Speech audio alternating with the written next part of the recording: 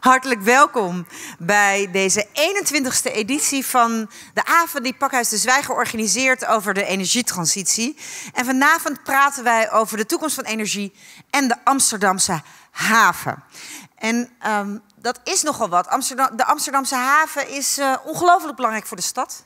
Uh, een van de grootste werkgevers. Het is de ene grootste kolenhaven van Europa. Het is de grootste benzinehaven van de wereld. Um, en zij hebben wel de afgelopen jaren heel erg nagedacht over hun toekomst. En ze hebben besloten om in 2030 te stoppen met de op- en overslag van steenkolen. En volop in te zetten op activiteiten die horen, innovaties die horen bij die nieuwe economie, die duurzame, schoon opgewekte economie.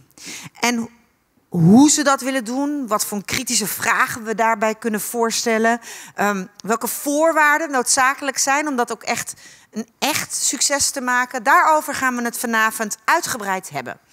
En um, ik begin met een compliment aan u, de bezoeker van deze avond. Want wat heeft u een doorzettingsvermogen? Op een van de warmste 7 mei uh, ooit in de geschiedenis van de mensheid, in ieder geval in dit land, uh, zit u hier. Omdat u meer wil weten over dit onderwerp. En uh, nou ja, mijn, mijn pet, die ik niet op heb, maar die metaforisch is, gaat voor u af. Tof dat u hier bent. Uh, we gaan uh, het een mooie avond maken, dat beloof ik. Ik voel me een nog grotere verantwoordelijkheid daarvoor en de andere sprekers ook. Uh, want ja, als dit niet een goede avond wordt, hadden ze dus op een terras kunnen zitten met een mooi glaasje. Ja, in een heerlijke, zwoele zomerse avond in mei. Dus wij voelen de druk. Maar we beloven dat u een goede avond heeft en dat we rond een uur of tien alsnog op dat terras buiten met een drankje met elkaar de zomer kunnen vieren. De avond is opgebouwd in eigenlijk twee delen. In het eerste deel krijgt hij een aantal presentaties en een interview. Um, waarbij er wat meer wordt verteld over de context waarin zo'n haven opereert en in relatie tot die energietransitie. Uh, eerst zal de directeur van Klingendaal International Energy Programma, Kobi van der Linden, Linden, een keynote geven. En daarna uh, zal de hoogleraar Andy van der Dobbelsteen, de hoogleraar Climate Design en Sustainability aan de TU Delft, die de roadmap uh, voor Amsterdam heeft gemaakt als het gaat om de energietransitie, uh, iets meer vertellen. En vervolgens interview ik de directeur van het havenbedrijf Koen Overtoom om een reactie te geven op deze twee um, keynotes. Ik zal wel tussen de twee presentaties een kleine ruimte geven aan u om vragen te stellen ter verduidelijking. En dat zijn dus vragen die bedoeld zijn niet om de discussie al te starten, maar uh, om ons allemaal slimmer te maken. Dus dingen die u niet begrepen heeft of nader wil hebben toegelicht, daar is dan ruimte voor. Dan de tweede presentatie, dan het interview met Koen Overtoom. En als dat achter de rug is, dan gaan we met elkaar in gesprek onder leiding van een prominent panel. Waarin allerlei stakeholders van die Amsterdamse haven in de brede zin van het woord uh, uh, zitten. En dan hopen we ook met u samen met hen van gedachten te wisselen over hoe kunnen we nou op een goede manier invulling geven aan die rol van die haven in die energietransitie. En dan om tien uur. Uh, eindigen we op zijn laatst uh, deze avond. Goed. Ik hoop dat u een mooie avond heeft. En als u er klaar voor bent, dan wil ik heel graag vragen of u een hartelijk Amsterdams applaus wil geven voor de directeur van het Klingendaal International Energy Pro Programma, Kobi van der Linden.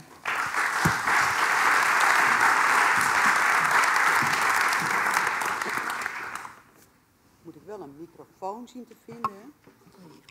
Je, die, uh, staan ze aan? Allemaal? Oké. Okay. Ik heb geen uh, plaatjes bij me en normaal staat er een laptop. Dus ik moet, uh, ik moet even uitvinden waar ik het beste kan staan zonder eraf te kukelen. En ik toch kan zien waar ik zit.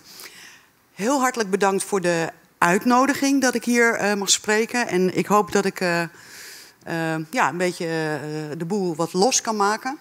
En nou, we zullen zien waar we eindigen voor, voor de keynote. Uh, ik ga eerst wat vertellen over de, uh, over de veranderingen in internationale oliemarkten. Ik heb toch maar de, uh, de statement de grootste benzinehaven. Ik, ik zat even, ik heb nog geprobeerd te zoeken op internet, maar volgens mij is dat, hmm, dat is misschien wat grootspraak, maar dat weet ik niet.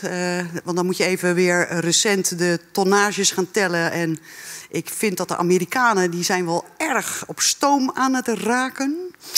Dus we shall see, maar ze zijn groot. Zullen we het daar gewoon op houden?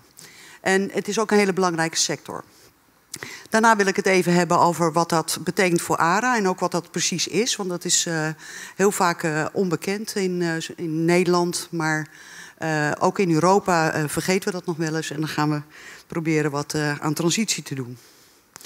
Um, als je kijkt naar de wereldoliemarkt, ik heb hier gewoon voor het gemak, ik ga even wat doorklikken. Uh, wat projecties van verschillende instanties. Er zitten oliemaatschappijen bij, er zitten, de OPEC zit erbij. Nou, dat, dat zijn mensen die uh, leven van olie, dus die, die proberen nog een beetje de moed erin houden. Dus die zien de vraag nog wel wat stijgen. En dat heeft ook heel veel te maken, niet zozeer met hoe zij tegen energietransitie aankijken, maar wat voor soort scenario's zij hebben gemaakt. En ook daar gaat het heel vaak mis in discussies dat we normatieve scenario's en to the best of my knowledge of terugkijkscenario's van wat moeten we doen om in 2050 uit te komen op 2 graden of lager, dat dat allemaal door elkaar wordt gezet. Dus dat heb ik dan ook maar gedaan. Um, ja, anders dan uh, ben ik gelijk weer, uh, verwijder ik me weer van iedereen. Dus we gaan even door. Die bovenste waren de Amerikanen, die, hebben, die rekenen met een hoge en een lage olieprijs. Dat is ook een, bijna een hele avond discussie waard om daarop in te gaan. Maar gaan we niet doen vandaag. Dan het IEA, die, uh, die kan maar tot 2040 kijken in hun, model. Daarbij is New Policy, dat is ongeveer uh, wat men beloofd heeft in de, in de Parijs-conferentie. Nou, dan zit je nog niet op 2 graden. He, dus er moet er nog heel wat meer gebeuren. En dan zie je daar aan de onderkant het SDS, dat is het Sustainable Development Scenario. Daar hebben ze teruggekeken wat er nou eigenlijk gebeurt met olie op het moment dat je naar 2 graden of lager gaat. Nou, dan wordt het al een uh, stuk uh, minder voor de olieindustrie. En dan komt, uh, dit is het Japanse instituut. Die hebben met piekvraag en, gewerkt in plaats van met uh, piekaanbod. Want dat waren we eigenlijk gewend in het verleden. Maar tegenwoordig hebben we het over piekvraag. en uh, de laatste, en die is het meest streng, dat vind ik nog ook nog wel leuk. Dat is van een, oh, is van een oliemaatschappij. Dat is van Statoil. En die hebben drie scenario's gemaakt. En eentje is business as usual. De andere is een wat meer rommelige energietransitie. En dan hebben ze hele strenge gemaakt. En dat is renewal. En dan kom je uit, en dat is wel aardig om te zien, en dat was eigenlijk de hele portée van dit plaatje, dat um, uh, wat er zo rondgaat in de wereld over die oliemarkt varieert tussen 130 miljoen vaten per dag. Nou, dat heb ik altijd wat overdreven gevonden. Uh, zo hard gaat het nou ook weer niet, tot uh, zo'n 63 miljoen vaten per dag. Dat is voor iemand die in de olieindustrie zit best wel een grote onzekerheid. Hè? Zo ongeveer scheelt de helft. Um, maar uh, de andere boodschap is dat ook in een 2 graden scenario, of dat nou van het IEA is of van Statoil, dan blijf je nog steeds op 63 miljoen vaten per dag zitten die passen binnen zo'n uh, klimaatscenario. Uh, en dat is ook weer best veel. Hè? Wij, we hebben het hier in Nederland vaak alsof we overal mee gaan ophouden. Maar 63 miljoen vaten per dag, dat is ongeveer de markt van de jaren 70. Hè, waar we het dan over hebben. Jaren 70, begin jaren 80 zo'n beetje. Als je dan kijkt van hoe, hoe dat dan gaat veranderen volgens het IEA. Um, dan zie je in het nieuw policy scenario zie je inderdaad de vraag stijgen in bepaalde. En dan niet in, uh, in uh, passagiersvervoer, maar nog wel in, in petrochemie. Ook in het zwaarder vervoer. Hè, dus dat, er zitten andere veronderstellingen over. En als je dan gaat naar dat Sustainable Development scenario, dan zie je dat alles daalt behalve petrochemie. Dat blijft eigenlijk in beide scenario's evenveel stijgen. Hè, er, zit, er zit een klein verschil in. Um, dat zit hem erin dat we voor uh, energietransitie ook heel veel um, van de materialen nodig hebben. Zoals bijvoorbeeld de vleugels van een windmolen, die uit olieproducten wordt gemaakt. Dat is op dit moment al zo. En als we dat heel erg gaan, uh, gaan uh, uitbreiden en uh, uitrollen, dan, tenzij er een ander materiaal wordt gevonden, daar, daar, daar, hoop je altijd wel op, dan zie je dat dat zich vertaalt in een stijging naar de vraag naar petrochemische producten. Nou, dat is voor, als, voor een land als Nederland is dat niet onbelangrijk om te weten, omdat hier heel veel olieindustrie plaatsvindt. Maar ook als, als je naar transitie kijkt, kun je afvragen, dus uh, als er toekomst is voor die olieindustrie en het moet allemaal schoner en efficiënter, uh, dan moeten we nog wel een markt achter zitten. Dus op zich uh, vind ik dat zelf, dat is des te meer reden om te zorgen dat je je industrie meeneemt in die energietransitie, want er is nog heel veel ehm, toekomst. Dit is een beetje een reminder voor onszelf. En dat is meer een, uh, begint mijn hang-up te worden. Of uh, uh, wat zeggen ze, het dingetje op je schouder waar je last van hebt. Is dat we net doen alsof er niet meer geïnvesteerd moet worden in, in olie. Hè. Pensioenfondsen die, worden daar ook heel fel van. Maar als je die 63 miljoen vaten per dag, of hè, laat dat nog ietsje minder zijn, dan zul je toch nog moeten investeren. En waarom is dat belangrijk? Ik zie Pfizer, die uh, wordt al helemaal zenuwachtig van uh, wat ik zeg. Is omdat ook landen in, uh, in Zuidoost-Azië en Afrika, die een heel andere logistieke structuur hebben, waar nog heel veel wegen moeten worden aangelegd, daar zul je niet altijd met nieuwe energietechnologieën alles kunnen doen. En de vraag is of zij die, die, die ontwikkelingsstap, die vrij energieintensief is, nog kunnen en mogen maken zonder dat ze. Uh, het liefst sla je natuurlijk een paar van die stappen over. Dus niet meer naar kolen en ook, ook niet naar olie als het niet hoeft. Maar wat we op dit moment denken te weten. Ik bedoel, we zijn allemaal maar mensen. Wat we denken te weten is dat er nog heel veel uh, olieproducten daar nodig zullen zijn in die samenleving. En de vraag is, ga je dat doen? Wat is het vooruitzicht voor een Afrikaanse investeerder om een nieuwe raffinaderij te bouwen? Als je weet dat, je, dat de wereldeconomie uh, gaat verduurzamen, uh, ga je die dan nog neerzetten? Of ga je zorgen dat die dingen die er nu al staan, ga je die dan zo schoonmaken, zo efficiënt, dat die producten daar naartoe kunnen worden geëxporteerd? Dat wil zeggen dat je ook het vooruitzicht zou kunnen hebben dat daarmee bijvoorbeeld in Nederland raffinaderijen blijven staan, ondanks dat de vraag naar producten hier uh, wellicht dan al heel anders is, maar dat je dat doet omdat je onderdeel bent van die wereldeconomie. Ik probeer alleen maar te schetsen dat er heel veel verschillende soorten manieren zijn om er tegenaan te kijken. En ik weet ook niet welke waar is. Hè? Uh, maar ik wil toch altijd een beetje tegenwicht geven alsof uh, de energietransitie gaat over van, nou, we kappen met alles en dan beginnen we gewoon uh, helemaal greenfield overnieuw met Nederland. Ehm, lijkt me wel spannend, maar misschien niet verstandig.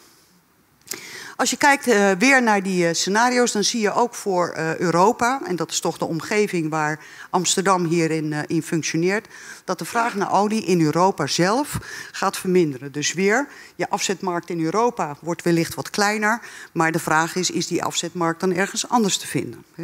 Als die er niet is, dan zullen we net als de afgelopen tien jaar wellicht in Europa sluitingen van raffinaderijen zien. En of dat nou komt omdat de wereldmarkt concurrerender wordt. Hè, er wordt nog elders uh, in het Midden-Oosten, in India, uh, maar ook in Rusland wordt er, uh, is, zijn de raffinaderijen geraffineerd of geupgrade. Die zijn heel concurrerend. Hè, of dat het spel is, dus dat het gewoon de internationale economie is. Of dat het ook komt door de soort van maatregelen die men hier moet nemen en daardoor wellicht wat hogere kosten heeft. Als je kijkt naar de huidige stromen, dan uh, zie je ook, uh, en dat vind ik altijd uh, heel interessant. En ik dacht van, nou, weet je, past hier helemaal niet. En dat vind ik eigenlijk nog steeds. Om die sprong te maken en, en nu te vragen om met me mee te denken. Maar het geeft wel een beetje aan wat er inmiddels al gebeurd is in die wereldmarkt. vroeger zag je dat heel veel stromen vanuit het Midden-Oosten ook naar Europa kwamen. Je ziet eigenlijk vanaf de jaren 90 dat, dat eigenlijk die hele oliemarkt al geregionaliseerd is. Dat wil zeggen dat het is heel efficiënt, hè, de kortste afstanden. Dus de Russische oliestromen die komen vooral naar Europa. Daar ligt ook infrastructuur.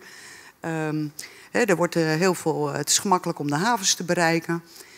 Um, en je ziet dat het Midden-Oosten eigenlijk uh, helemaal gericht is geraakt op Azië.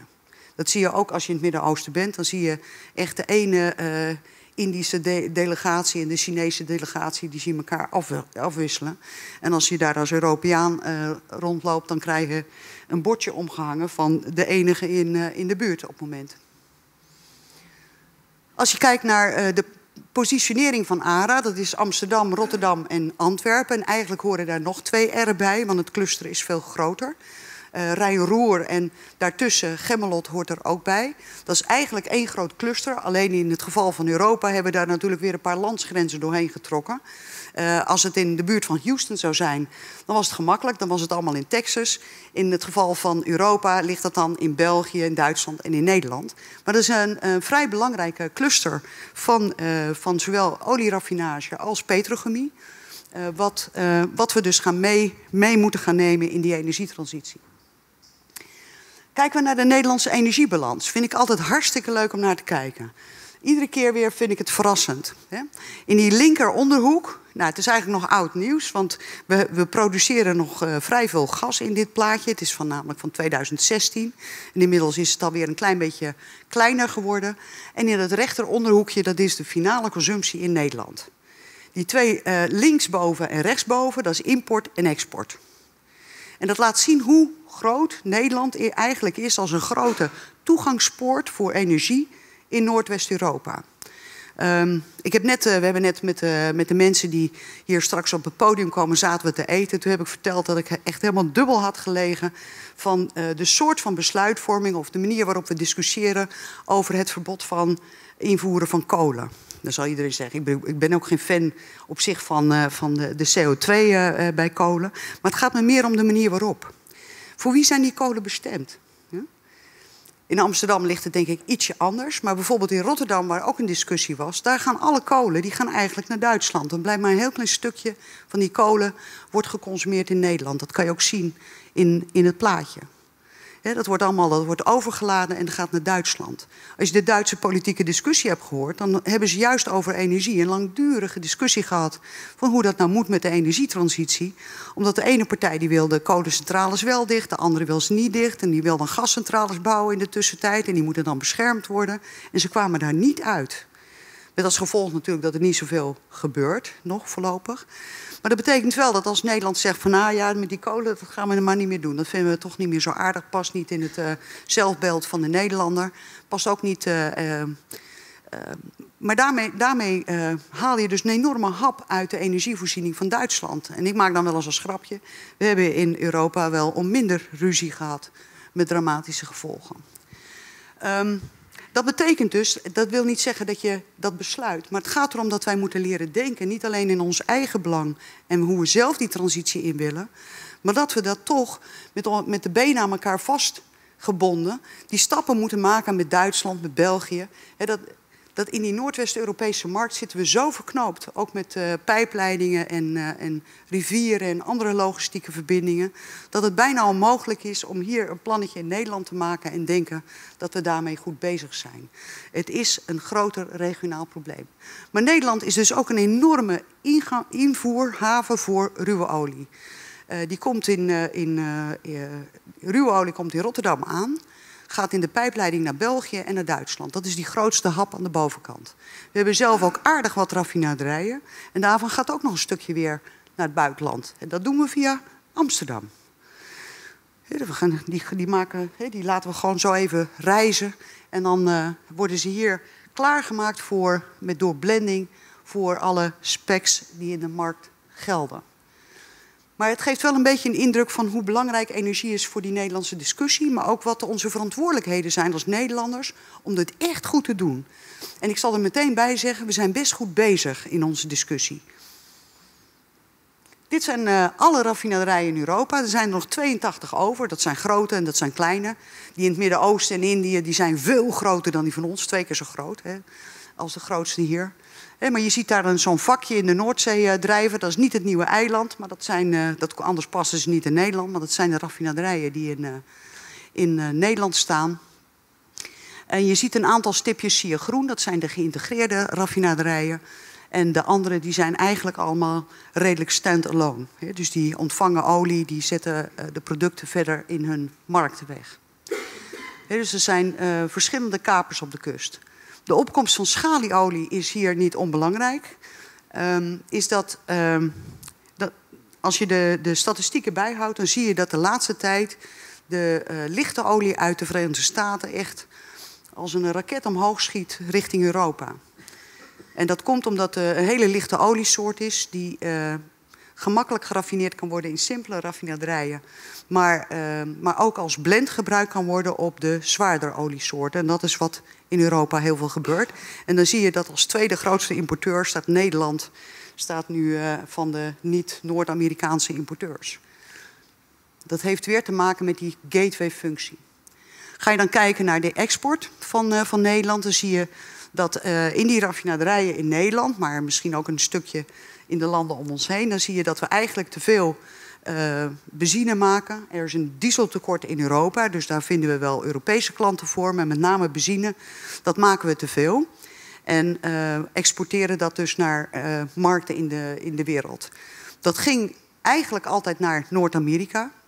om de, vooral in de buurt boven Boston houdt pijpleidingen op. Ja, hoe, hoe, die Amerikanen dat voor elkaar krijgen, weet ik ook niet. Um, maar dus als, je dat, als je keer voor de grap dat wil volgen in de winter, hoe dat soms gaat met aanvoer naar grote steden als Boston, dan is dat uh, uh, is best vermakelijk. Maar dat heeft altijd een hele vaste markt opgeleverd voor olieproducten vanuit Noordwest-Europa. Dus in dit geval vooral vanuit Amsterdam. En dat is een, een behoorlijk grote markt. Dus dan kijk naar de bestemmingen. Nou, je, Duitsland en, uh, en België, dat snappen. Singapore, nou oké, die uh, dat is een ander groot, dat is zeg maar een soort uh, Nederland, maar dan in, in Azië. En dan zie je inderdaad de Verenigde Staten, maar ook Frankrijk en het Verenigd Koninkrijk. En ook, je ziet ook bij die sluitingen van raffinaderijen dat zo langzamerhand die optimalisatie van een aantal grote internationale oliemaatschappijen op hun raffinagesector, dat die wel redelijk is afgerond. En wat er in Oost-Europa staat, heel veel nog vaak kleine raffinaderijen zijn die van uh, heel vaak met staatsdeelnemingen, gewoon kleinere ondernemingen zijn. Maar ook de Verenigde Staten zelf is nu fors aan het exporteren. Eerst kwam dat omdat ze geen ruwe olie mochten exporteren. En uh, ze hebben de pech dat hun raffinagesector is geschikt voor zware olie uit het Midden-Oosten. En ze produceren nu superlichte schalieolie. En dat kan je dus niet zomaar in die ketel stoppen, want dan uh, zijn ze niet zo uh, optimaal. Dus er wordt wel wat geblend. Maar eigenlijk kunnen ze met die LTO die ze produceren, die exporteren ze naar de wereldmarkt. En dan importeren ze nog steeds olie uit Saudi-Arabië om te zorgen dat het past bij de raffinaderijen. Dus je ziet niet alleen de export van productie stijgen. Nu mag er ook weer crude worden geëxporteerd en dat vliegt ook omhoog. Um, ja, die zal gewoon, dat, dat zal wel een simpel raffinaderijtje zijn die een bootje of twee hebben laten komen. Omdat de Amerikaanse olie ook nog eens een keer op moment een dollar of vijf goedkoper is dan uit andere landen. En heel vaak trouwens in Azië en in Afrika zie je dat ze liever kopen in een ander werelddeel dan bij de buren. Omdat ze die niet vertrouwen. Dat is in de gassector precies zo.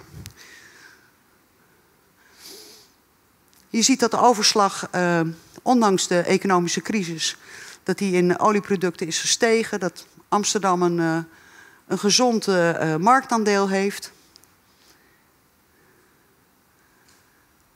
En dat Nederland, en dat zie je vooral via die pijpleidingen, ook allerlei verbindingen heeft. Dus het is niet alleen via, uh, via het spoor en over de weg, maar het is vooral via pijpleidingen. En daarbij is nog iets bijzonders. Die olieproductpijpleidingen die zijn aangelegd, die zijn eigenlijk nog een soort uh, residu van de Koude Oorlog. Want heel veel van die productpijpleidingen die zijn juist ontwikkeld, die, liggen naar, die gaan naar militaire vliegvelden. Die waren aangelegd door de NAVO. En die worden commercieel uitgebaat op het moment, omdat ja, de NAVO moet ook een beetje renderen. Um, maar dat betekent wel dat, uh, dat, uh, dat die netwerken dat die een, een, logica hebben die niet altijd past bij de markt, laten we het maar zo uh, zeggen. Dan zien we vervolgens dat die Noordzee, en dat vind ik ook wel interessant, hè, dan zie je dat olie- en gasproductie dat die afneemt. Nu is in 2015 is de windproductie nog heel laag, maar dat zie je heel snel stijgen.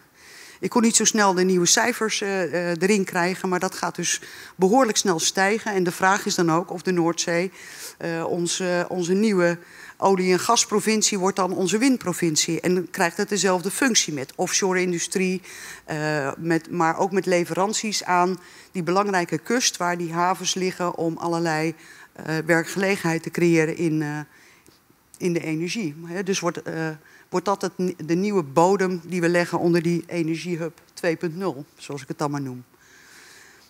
Nou, voor, ik heb hem er toch maar tussen gezet, omdat we niet altijd duidelijk is van waar het nou eigenlijk uh, heen gaat. Uh, grappig genoeg moet ik er altijd koeling bij zetten. Dit zijn van die plaatjes die ontwikkelen westerse mensen uit het noordelijk halfrond. En die vergeten dan dat het grootste gedeelte van de vraag naar elektriciteit voor koeling is en niet voor, voor verwarming. Dat is een experiment, daar beginnen wij nu pas uh, aan. Hè, dus dat, uh, dat zullen we zien.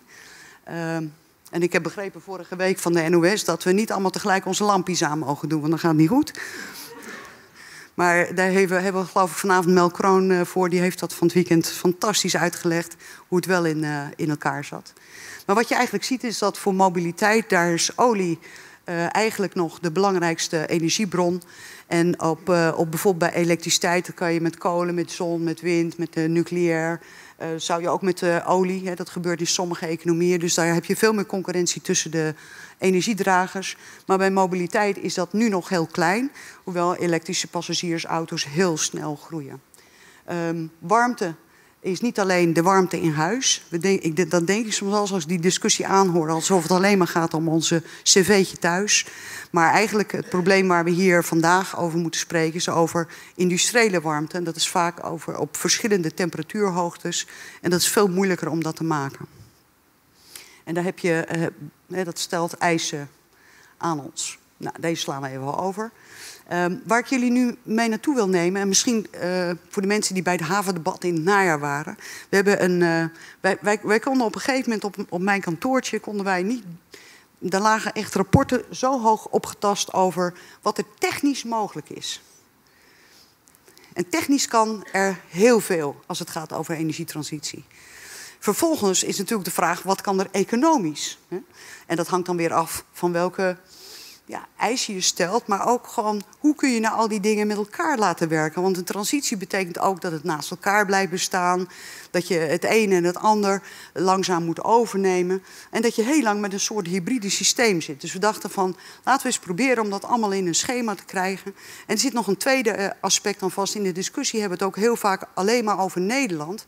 Maar wat, zoals ik begonnen was, het is juist heel belangrijk om onze buurlanden in de gaten te houden. Want als wij keuzes gaan maken voor technologie A en de buurlanden doen dat niet, dan kan dat voor een klein land als Nederland weer heel erg kostbaar worden.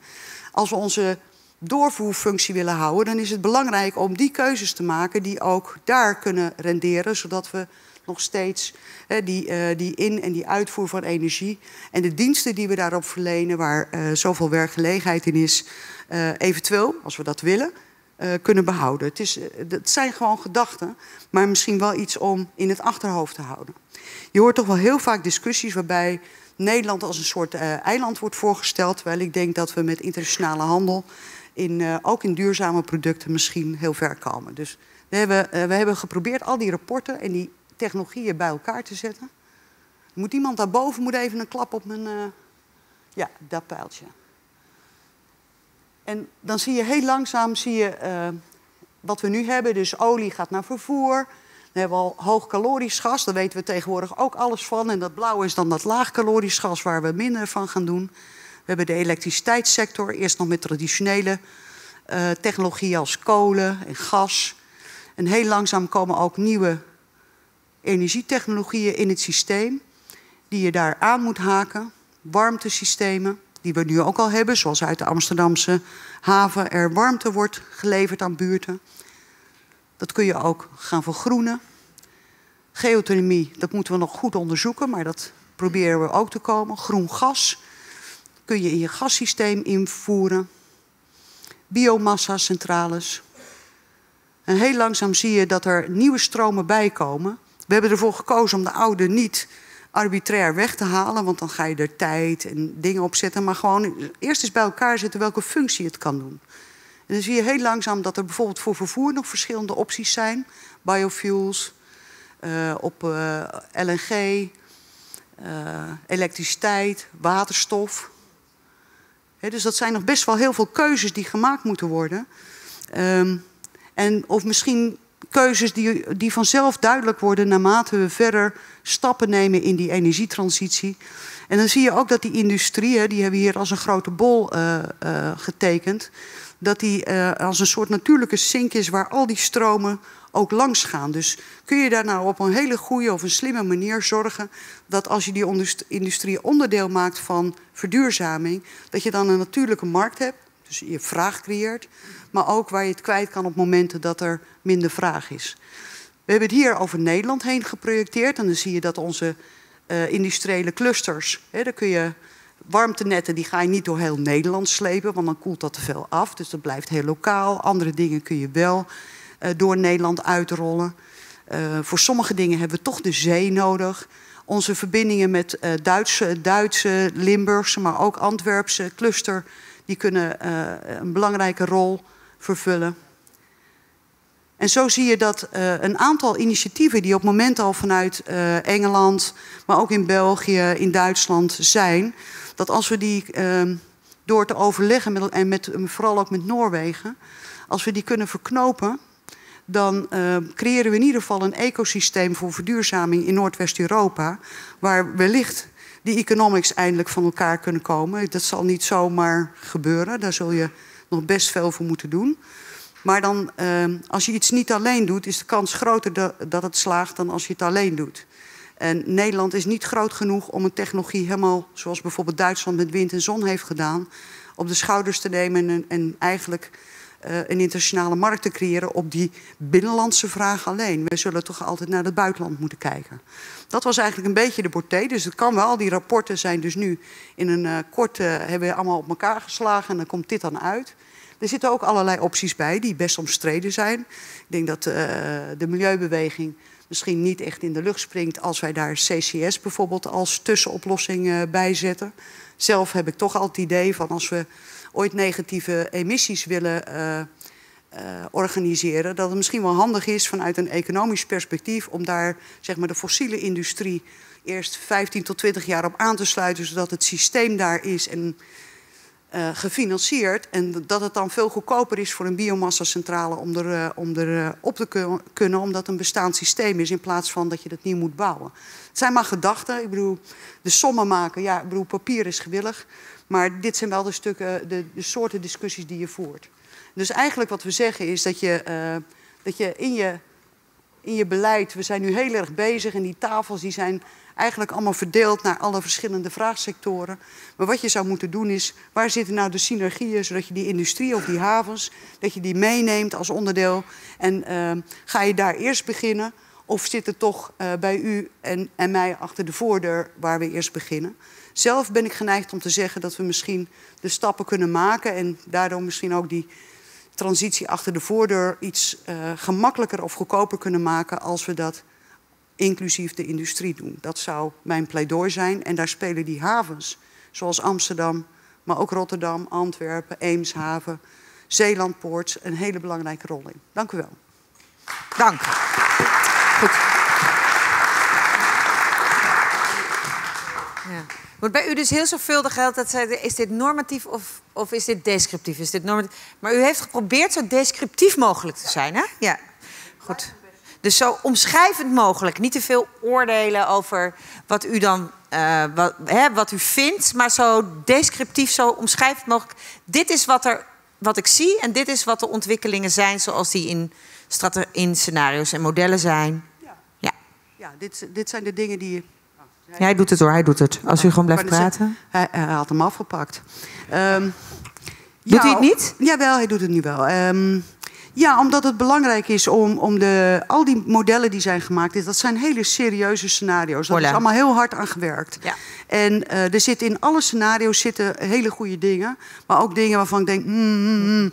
He, iedereen moet op een gegeven moment toch dat laatste stukje met heel veel elastiek moet je dat aan elkaar zien te krijgen. Okay. En uh, ik denk dat de winst zit als, als je inderdaad al die, uh, al die kennis die daarin is gestopt, als je die gewoon bij elkaar legt. Dus vandaar dat ik geen oordeel wil vellen. Ik vind voilà. niets goed of, of slecht. Nee. Ik vind okay. gewoon dat we het moeten gaan doen. En ik laat nu vragen toe uit de zaal.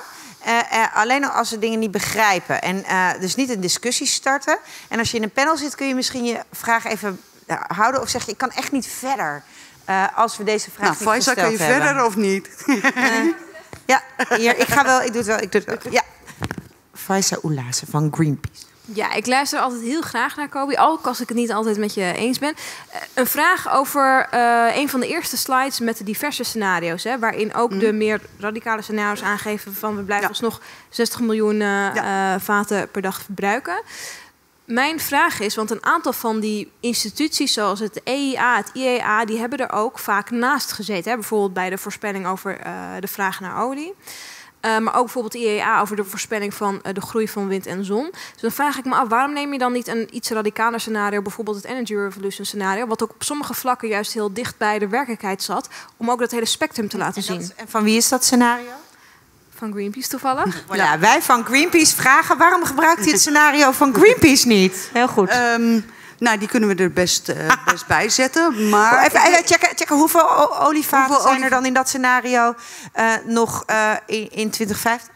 Vrijwel niet. Ja, dat was het dan. Dat wou ik, Ja. even- ik ga Ja, straks zitten zijn in het panel dus. Ik denk dat de Statoil, als je daar. ja, dat, is, dat is al behoorlijk radicaal als je ervan uitgaat dat ook Afrika en Zuidoost-Azië nog door een energie-intensief ontwikkelpad moeten. En dat mis ik soms in de, in de eh, Greenpeace-scenario's, zijn toch wel heel erg eh, vanuit een westerse optiek naar de wereld gekeken. En, Gaan we het straks misschien wat langer over hebben, want dat lijkt me een debat. daar, zit, daar kan een gaatje tussen zitten. En dat is geen informatieve vraag. Dus zij zei van sommige dingen vond ik te normatief. Of vond ik dingen die. Ik heb nog een aantal scenario's er niet bij geha- gehaald. Had ik wel kunnen doen. Ja, heeft, heeft ook trouwens te maken of ze goed, voldoende vergelijkbaar zijn. Precies. Want sommige Parameters kloppen. zijn. Ja. eh, Kort dit. dat is appels en peren. Ja, drie mensen. Ja, we beginnen daar. Eh, dank voor het buitengewoon interessante verhaal. Het ging mij een beetje te snel. Is er misschien een goed artikel over geschreven dat ik het nog eens rustig kan nalezen? Ah. Kunnen, en zou het helpen als deze presentatie beschikbaar is? Hij is natuurlijk al opgenomen via de livestream. Maar... Eh, om te beginnen ja, maar, Oké, een zeg maar de toelichting erop vond ik. eh, Ja, Jawel hoor. rustig willen. Hoeveel tijd heeft u beschikbaar? best veel. En, maar het moet gewoon begrijpelijk. Ja, Ja. oké. Die stapel, ik ga niet die stapel Nee, boeken zou ik ook niet doen. Nee, Nee. nee. nee. maar er zijn voldoende artikelen. Na, eh, buiten de bijeenkomst eh, zal ik uw eh, e-mailadres eh, en dan stuur ik wel wat. Kijk, wat een service eh, op de tweede rij. Ja, begrijp ik het goed dat in de scenario's voor 2050, als we dan nog ruim 60 miljoen vaten per dag winnen en die zetten we in voor energiegebruik, dat we dan beneden de 2 graden doelstelling blijven die in Parijs is afgesproken? Eigenlijk, eh, de, het, eh, zeg maar de stijging in de vraag naar olie zit vooral in grondstoffengebruik van olie. Petrochemisch, En eh, niet in het energieverbruik, maar er zal ook nog een flink deel, want anders dan krijg je die 63 miljoen vaten niet, eh, niet per jaar eh, weggezet. Zal ook nog in de energiesector, met name in eh, ontwikkelingslanden waar de infrastructuur Maar dan zit ook in die scenario's carbon capture. Dus je stoot nog wel uit, maar je vangt het ook weer op. En Ja. daardoor kom je netto toch op die kun je in binnen Parijs twee, Ja. min 2 graden blijven. Ja, nou het probleem is wel dat als, je, eh, als er stijging bij vervoer zou zitten, dat eh, uit de uitlaat, dat is heel moeilijk eh, op te vangen. Vooral in landen Voilà. waar dat logistiek Zeker. niet te organiseren is. Nee, maar deze meneer vroeg een, geen normatieve vraag, maar een, eh, eh, gewoon, u zei in uw presentatie, deze scenario van het IEA, dat is de Sustainable Development Ja. scenario. En de andere was renewal. Dan zit je onder de 2 graden. Zit je onder de 2 graden. maar nog Antwoord niet is op ja. En wellicht. nog, Hè, nog even Nee. ter aanvulling, welk percentage van die 60 miljoen wordt gewoon voor energiegebruik ingezet? Nou, dat, dat, eh, eh, als je, eh, er, zijn, er hangen wel wat getalletjes aan, maar die zijn eh, uiterst vaag. Ik bedoel, eh, Onduidelijk. Ja, ik bedoel, je ziet 8 miljoen vaten per dag gaan er meer naar eh, petrochemicals, is nu 12 procent. Dus nou, ga je naar 20 procent toe, dus dan hou je 80 procent gaat naar energie. Oké. Dus dat is 40 miljoen vaten ongeveer. Ja. Maar dat is dit een beetje. Hoor ik uit de hooggeleerde. Ja, ja, ja. Hallo. Oké, oké. Eh, ik heb een hele simpele vraag. U had het over CCS. Wat is CCS? Ah, heel Eh, goed. dat is eh, eh, de opvang en, eh, Carbon en- capture and storage. en storage. Dus, Dat is koolstofopvang en eh, wegstoppen onder de grond, zodat het niet in de atmosfeer zit. Ja, opslag, CO2-opslag. En dat, dit wordt, dat is de ter, dus term omdat je twee termen hebt. Je hebt opslag en gebruik. Hè, dus, dus, dus je gebruikt CCS voor storage, dan doe je het onder de grond. En CCU voor als je het eh, utilization als het gaat gebruiken. En daarom worden die twee eh, ja, gebruikt. Oké. CO2-opslag. Bedankt. Top. Dat was nou een hele goede vraag. Want dan zijn een aantal mensen waarschijnlijk met u die dat ook te snel ging. En het scheelt dan toch. Want er gaat nog heel vaak het woord CCS vallen, vermoed ik vanavond. Ja, ik wou nog twee vragen met uw permissie, maar we, we, kunnen, we kunnen ook. eh, Ja, heel graag. Hoe gemakkelijk is het om eh, de botlek over te schakelen van eh, benzine en diesel naar eh, kerosine? Ja. Ik snap de vraag niet. Nog een keer. Hoe gemakkelijk is het om een botlek om te schakelen van benzine en, en diesel? Die zal wel eens eh, minder worden. Naar kerosine, die groeit nog steeds met eh, meer dan 5% per jaar. Het probleem is dat je eh, in raffinage gaat een vat ruwe olie en daar komen al die producten in. Hè, hangt een beetje af van, de, van het soort olie. Komen ko- komen eruit. Dus al, zolang, die, zolang zo'n raffinaderij draait... en er is bijvoorbeeld hier geen vraag meer voor... hè, dat gaat al heel snel spelen in, in, eh, in de scheepvaart... waarbij eh, stookolie eh, niet meer kan. Hè. Dan moeten ze een keuze gaan maken voor, of voor diesel of voor scrubbers. Hè. Ze zullen iets moeten doen om te zorgen dat die uitstoot vermindert. Stookolie is heel viezig. Ja, is, een zwaar, een zwaar, zwaar product wat, wat je uit je raffinage haalt. Dat kan je nog opwerken in een complexe raffinaderij naar benzine en diesel. Maar daar zitten extra kosten aan verbonden, maar dat kan. Dat gebeurt ook. Ehm, maar, Nee, maar de vraag is zich- al die raffinage, heel veel raffinage is nu gericht op van olie. Nee, maar je kan Benzine niet maken. Nee, maar wat die meneer vraagt is: kun je alleen kerosine maken van een vat olie? Dat is op dit moment dat is, dat is niet in vraag. Ah. Wat er wel kan gebeuren is dat je eh, het vat raffineert. Dat je alleen vraag hebt naar kerosine vanwege Schiphol bijvoorbeeld, hè, als je het eh, heel concreet maakt. En dat de rest dan geëxporteerd wordt naar andere landen. Oké. Maar van een vat, daar komen complexe hoeveelheid, een aantal Allemaal uh, verschillende fracties. dingetjes. Ja. En je kan niet zeggen, wij gaan het hele vat omzetten naar kerosine. Dat kan technisch niet. Nou, je komt een heel eind met het opwaarderen, maar eh, dat, is, eh, is, Oké. dat is heel kostbaar. Dat is heel kostbaar. Oké, Ja. dan beginnen we. We krijgen begrip voor dat raffinageproces. Ja, Het is gewoon koken, hè? olie koken. heel goed. Dat helpt heel erg. Raffinage is olie koken. het is gewoon een hoge drukpan olie koken. Ja, oké.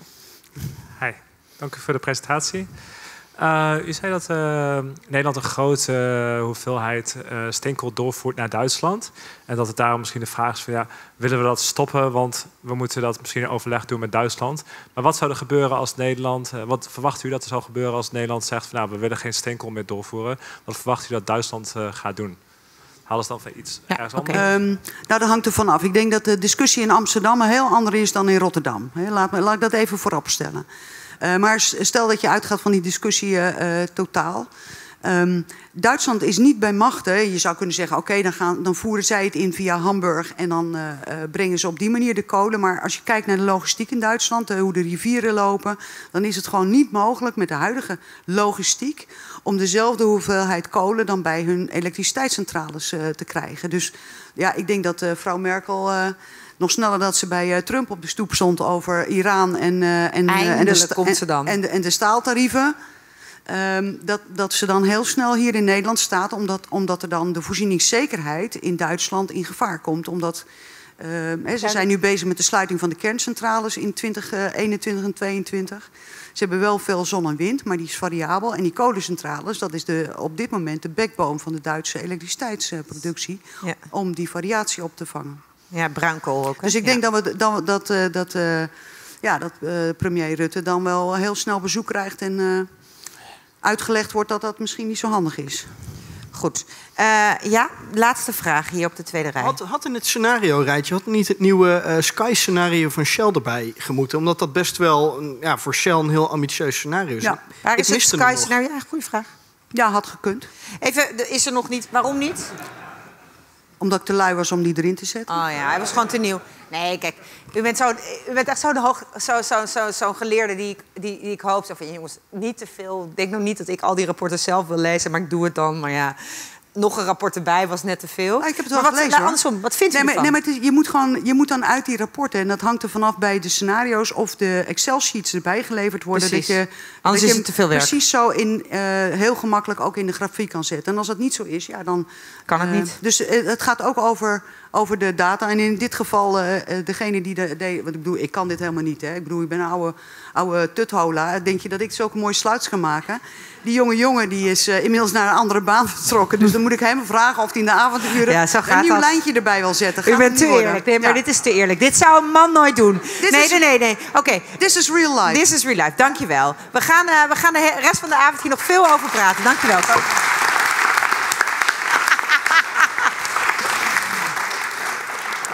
Te eerlijk, te eerlijk.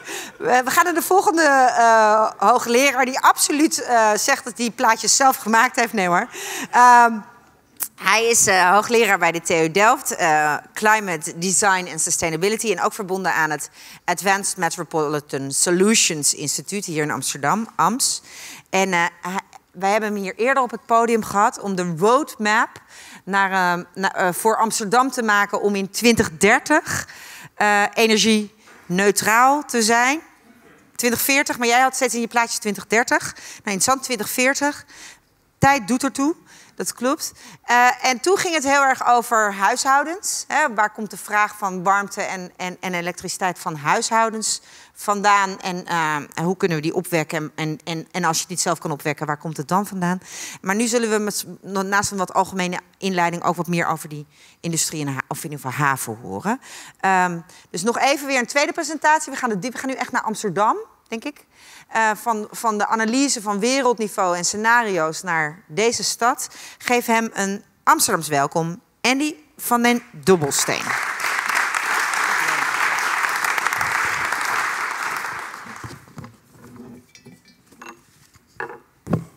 Pak eerst even wat water. Ik heb nog niks te drinken gekregen. Water, microfoon, microfoon.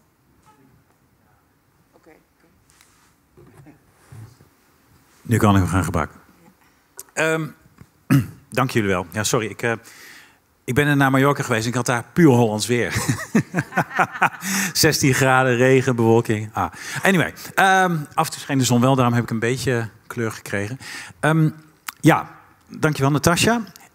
ik heb uh, op 13 maart hier een presentatie gegeven, vrij uitgebreid, van de roadmap-studie die wij hadden gedaan vanuit het Europese project Citizen.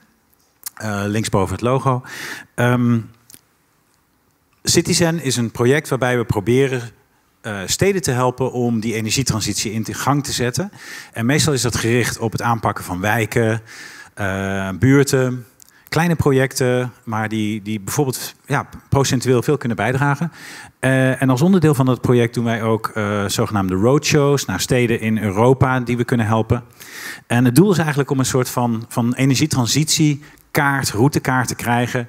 Uh, uh, om in uh, overeenstemming met Parijs te komen. Nou, hier zie je wat plaatjes. Ehm, vliegen naar Parijs. Dit is de auto en dit is de trein. Ja, die, die plaatjes kloppen niet helemaal, maar dit is echt de trein. Um, als je nu weet... Even kijken.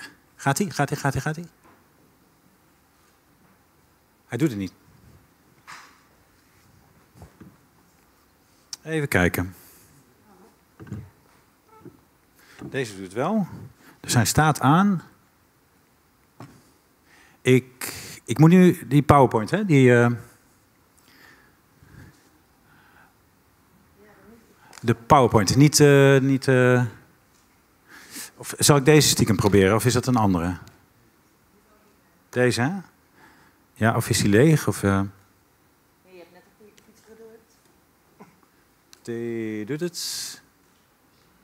Ja, dat is jammer. Even kijken, als ik.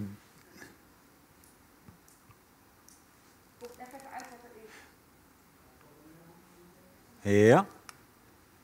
Oké, klik 1, dan moet er een cijfertje komen. Ja, daar is die. Kijk, uh, ik doe mijn eigen CO2-analyses. En als je vliegt, uh, dan ben je dit ongeveer aan CO2 aan het uitstoten per persoon kilometer. Dus dat is, uh, en die eerste is intercontinentaal. En de laatste is dit soort flutafstandjes naar Parijs. Dus eigenlijk ben je dus hier 0,3 kilogram per persoon kilometer. Dus zeg maar 500 kilometer naar Parijs. Uh, keer 0,3. Reken maar uit. Dus uh, 170 kilogram CO2. Um, de tweede is auto. Dat varieert. De eerste is dat je met z'n vier in de auto zit. En de laatste in je uppie. Dan kom je al in de buurt van een vliegtuig, maar nog niet helemaal. Um, de laatste, de trein. Nou ja, als je in Nederland rijdt, dan ben je nul CO2 aan het uitstoten. Hè? Dus, en NS die heeft windpower op dit moment. Um, internationaal geldt dat nog niet zo, dus eigenlijk geldt die, dat laatste cijfer. Maar je ziet het grote verschil wel met de rest. Dit even om heel praktisch te worden. En dan hebben we natuurlijk nog vanuit de haven de boot naar Parijs. En daarvan, en dan schrik je je wild, maar dit is van uh, typisch van veerboten, de hoeveelheid 0,47. Dat is dus meer dan vliegen. En je moet een grotere afstand afleggen. Dus daar schrok ik wel even van, maar dat is uit wetenschappelijke bronnen die ik heb kunnen opdiepen. Nou, die roadmap, hoe gaat dat? Wat wij hebben gedaan, en ik geef een korte, snelle introductie met wat wij hebben onderzocht. Want het doel was om te kijken hoe ver kan Amsterdam gaan als stad in zijn eigen energievoorziening. Hoe kan hij zijn eigen warmte en elektriciteit oplossen? Uh, niet dat ik tegen internationale, handel bent en dat je buiten de stad kan oplossen. Natuurlijk kan dat. Maar als we dat allemaal gaan doen en blijven doen, dan hebben we gewoon simpelweg nooit genoeg ruimte. En daarom heb ik gekeken met mijn onderzoekers hoe we daar kunnen komen. We beginnen met energieanalyse van hoe dat nu gaat, uh, de huidige situatie. We kijken naar wat is er al gepland, welke investeringen zijn al besloten om uh, gedaan te krijgen. En wat is de maatschappelijke analyse of de stakeholder-analyse die hier een beetje boven zweeft. Dus wat zijn de partijen die erbij betrokken zijn? Tweede stap, dan gaan we kijken naar de scenario's voor de toekomst. Um, dat zijn invloedsfactoren die je zelf niet kan beïnvloeden, maar die wel invloed hebben op uh, waar de toekomst heen gaat. En eigenlijk die stappen bij elkaar opgeteld, dan proberen we altijd samen met mensen vanuit de gemeente, uh, betrokkenen bij die workshops, tot een uh, duurzame energievisie te komen, of een duurzame visie te komen van de stad in 2050. Wat, hoe ziet die eruit? Wat is er nog wel, wat is er niet, et cetera. Um, en de laatste, en dat is dan die echte roadmap, zoals ze dat noemen. Dat is dan uh, de kaart, de routekaart waarin we laten zien welke interventies moeten nu gemaakt worden. Uh, welke projecten moeten in gang gezet worden om te kunnen komen bij die visie die we net geformuleerd hebben. Uh, en dat kun je van achteruit naar voren, gaan, van naar nu gaan redeneren. Je kan ook zeggen, wat gaan we nu langzaam doen en waar komen we dan uit? Maar meestal komen dan die lijntjes veel te laag uit. Dat zijn die bekende projectiebeelden van... als wij nu dit gaan veranderen, dit gaan veranderen, dit gaan veranderen... ja, dan kom je er niet, over het algemeen. Nou, wat wij met die roadmap hebben gedaan... we hebben in hoofdzaak... Uh, we hebben naar de stad Amsterdam gekeken... maar om het te illustreren... in hoofdzaak twee delen van de stad wat verder uitgediept. Daar ga ik nu vandaag niet op in, want daar ging het vandaag niet over. De haven zit er ook bij, zoals u ziet. Um, maar een stukje binnenstad en een stuk uh, Nieuw-West. Um, een voorbeeld, hier zie je uh, de energievraag uitgedrukt in, in, in, zeg maar echte warmte, in kokende temperatuur. En uh, hier is dan de grappige kaart die daar overheen gelegd zou moeten worden. Waar namelijk de warmtenetten zijn hun warmte afgeven. En dat zit precies buiten die kokende, hete binnenstad die die warmte nodig heeft. Dus dat vonden we al natuurlijk interessant. Um, we hebben ook gekeken naar de energievraag en potenties. Als je nu naar de huidige vraag kijkt naar uh, warmte. En dat is eigenlijk allemaal hoge temperatuurwarmte. Vanuit de gebouwde omgeving gesproken, hoge temperatuurwarmte is alles boven de 65 graden. Dat is wat je gebruikt voor je warmwatervoorziening, voor je verwarming, als die radiatoren heeft. Um, daarvan produceert Amsterdam op dit moment heel weinig duurzaam. En dat is met name uh, afvalverbranding en afvalwarmte van de Diemercentrale. Dit zijn de totale potenties die uh, Amsterdam heeft op hoge temperatuur. Uh, dan zie je dus daar dat die niet helemaal als je alles zou inzetten, niet helemaal de boel kan dekken. En daarbij moet ik zeggen dat uh, met name diepe geothermie is uh, vrij onzeker. Moet echt nader onderzocht worden. En solar thermal heb ik dan. Eh, dit, dit is natuurlijk ook wel. Er is nu helemaal niks nog wat gebruikt wordt. Dan zou naar behoor, er zit behoorlijk veel potentie in in zonnewarmte, maar die gebruiken we nog niet. Als je naar de tweede kijkt, lage temperatuurwarmte, is daar veel meer van aanwezig. Veel meer, want dit is hetzelfde staatje als die. Dus het is eigenlijk uh, heel simpel dat we in die gebouwde omgeving naar lage temperatuur vraag moeten. Want daar hebben we veel meer bronnen voor. Hè. Kijk maar naar de bronnen hier. Dat is uh, riool, oppervlaktewater, WKO, uh, afvalwarmte en zonnewarmte van de lage temperatuur. Ten slotte hier rechts de elektriciteitsvraag. Dit is de huidige elektriciteitsvraag. dit is wat duurzaam wordt opgewekt. daar zit de afvalverbranding grotendeels in kunnen wij in een circulaire economie natuurlijk niet meer duurzaam noemen straks. Nu nog wel eventjes.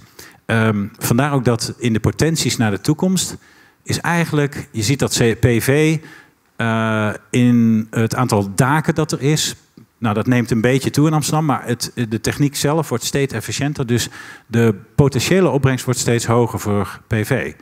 Um, windturbines, ja, Amsterdam heeft daar meer beperking in. Uh, PV is trouwens zonne, zonnepanelen die elektriciteit opwekken. Hè? Dat moet ik er af en even bij zeggen. Ik, ja. Um, en tenslotte, afvalverbranding kan nog een tijdje best wel groeien. Er zit meer potentie in nu nog. Uh, daarna zal dat toch moeten afbouwen op het moment dat je niet alles meer wil verbranden en niet meer gaat importeren uit Engeland of uit de Baltische Staten. Dus eigenlijk, uh, de elektriciteitsvraag kunnen we niet helemaal dekken in Amsterdam. Ehm, conclusies die ik dan kan trekken. Ehm, dus we kunnen onvoldoende stroom opwekken binnen het Amsterdamse gebied. Binnen de stadsgrenzen is eigenlijk logisch. Hè? Want we hebben natuurlijk een vrij eh, dichte stad met heel veel bebouwing. Is logisch. Ehm, goed om te weten, afvalverbranding kan op de lange termijn niet duurzaam zijn. Diepe geothermie kan een stuk vervangen, maar niet alles wat nu uit fossiel en afval komt. Hè, dus die restwarmte bijvoorbeeld. Er is op dit moment uh, er is te weinig biogas te maken van alle biomassa om aardgas volledig te vervangen. Er wordt wel eens gezegd, dan gaan we toch naar biogas. Nou, er is lang niet zoveel aanwezig. Uh, dus we moeten slim zijn met die hoge temperatuur. Hè. Ik liet het al zien, er is te veel hoge temperatuurvraag. Uh, we moeten eigenlijk naar lagere niveaus toe. Die zijn namelijk meer voorradig, dus middentemperatuur of lage temperatuur. En nieuwbouw, vind ik, zou sowieso al niet meer op een stadswarmtenet moeten zitten op hoge temperatuur of middentemperatuur.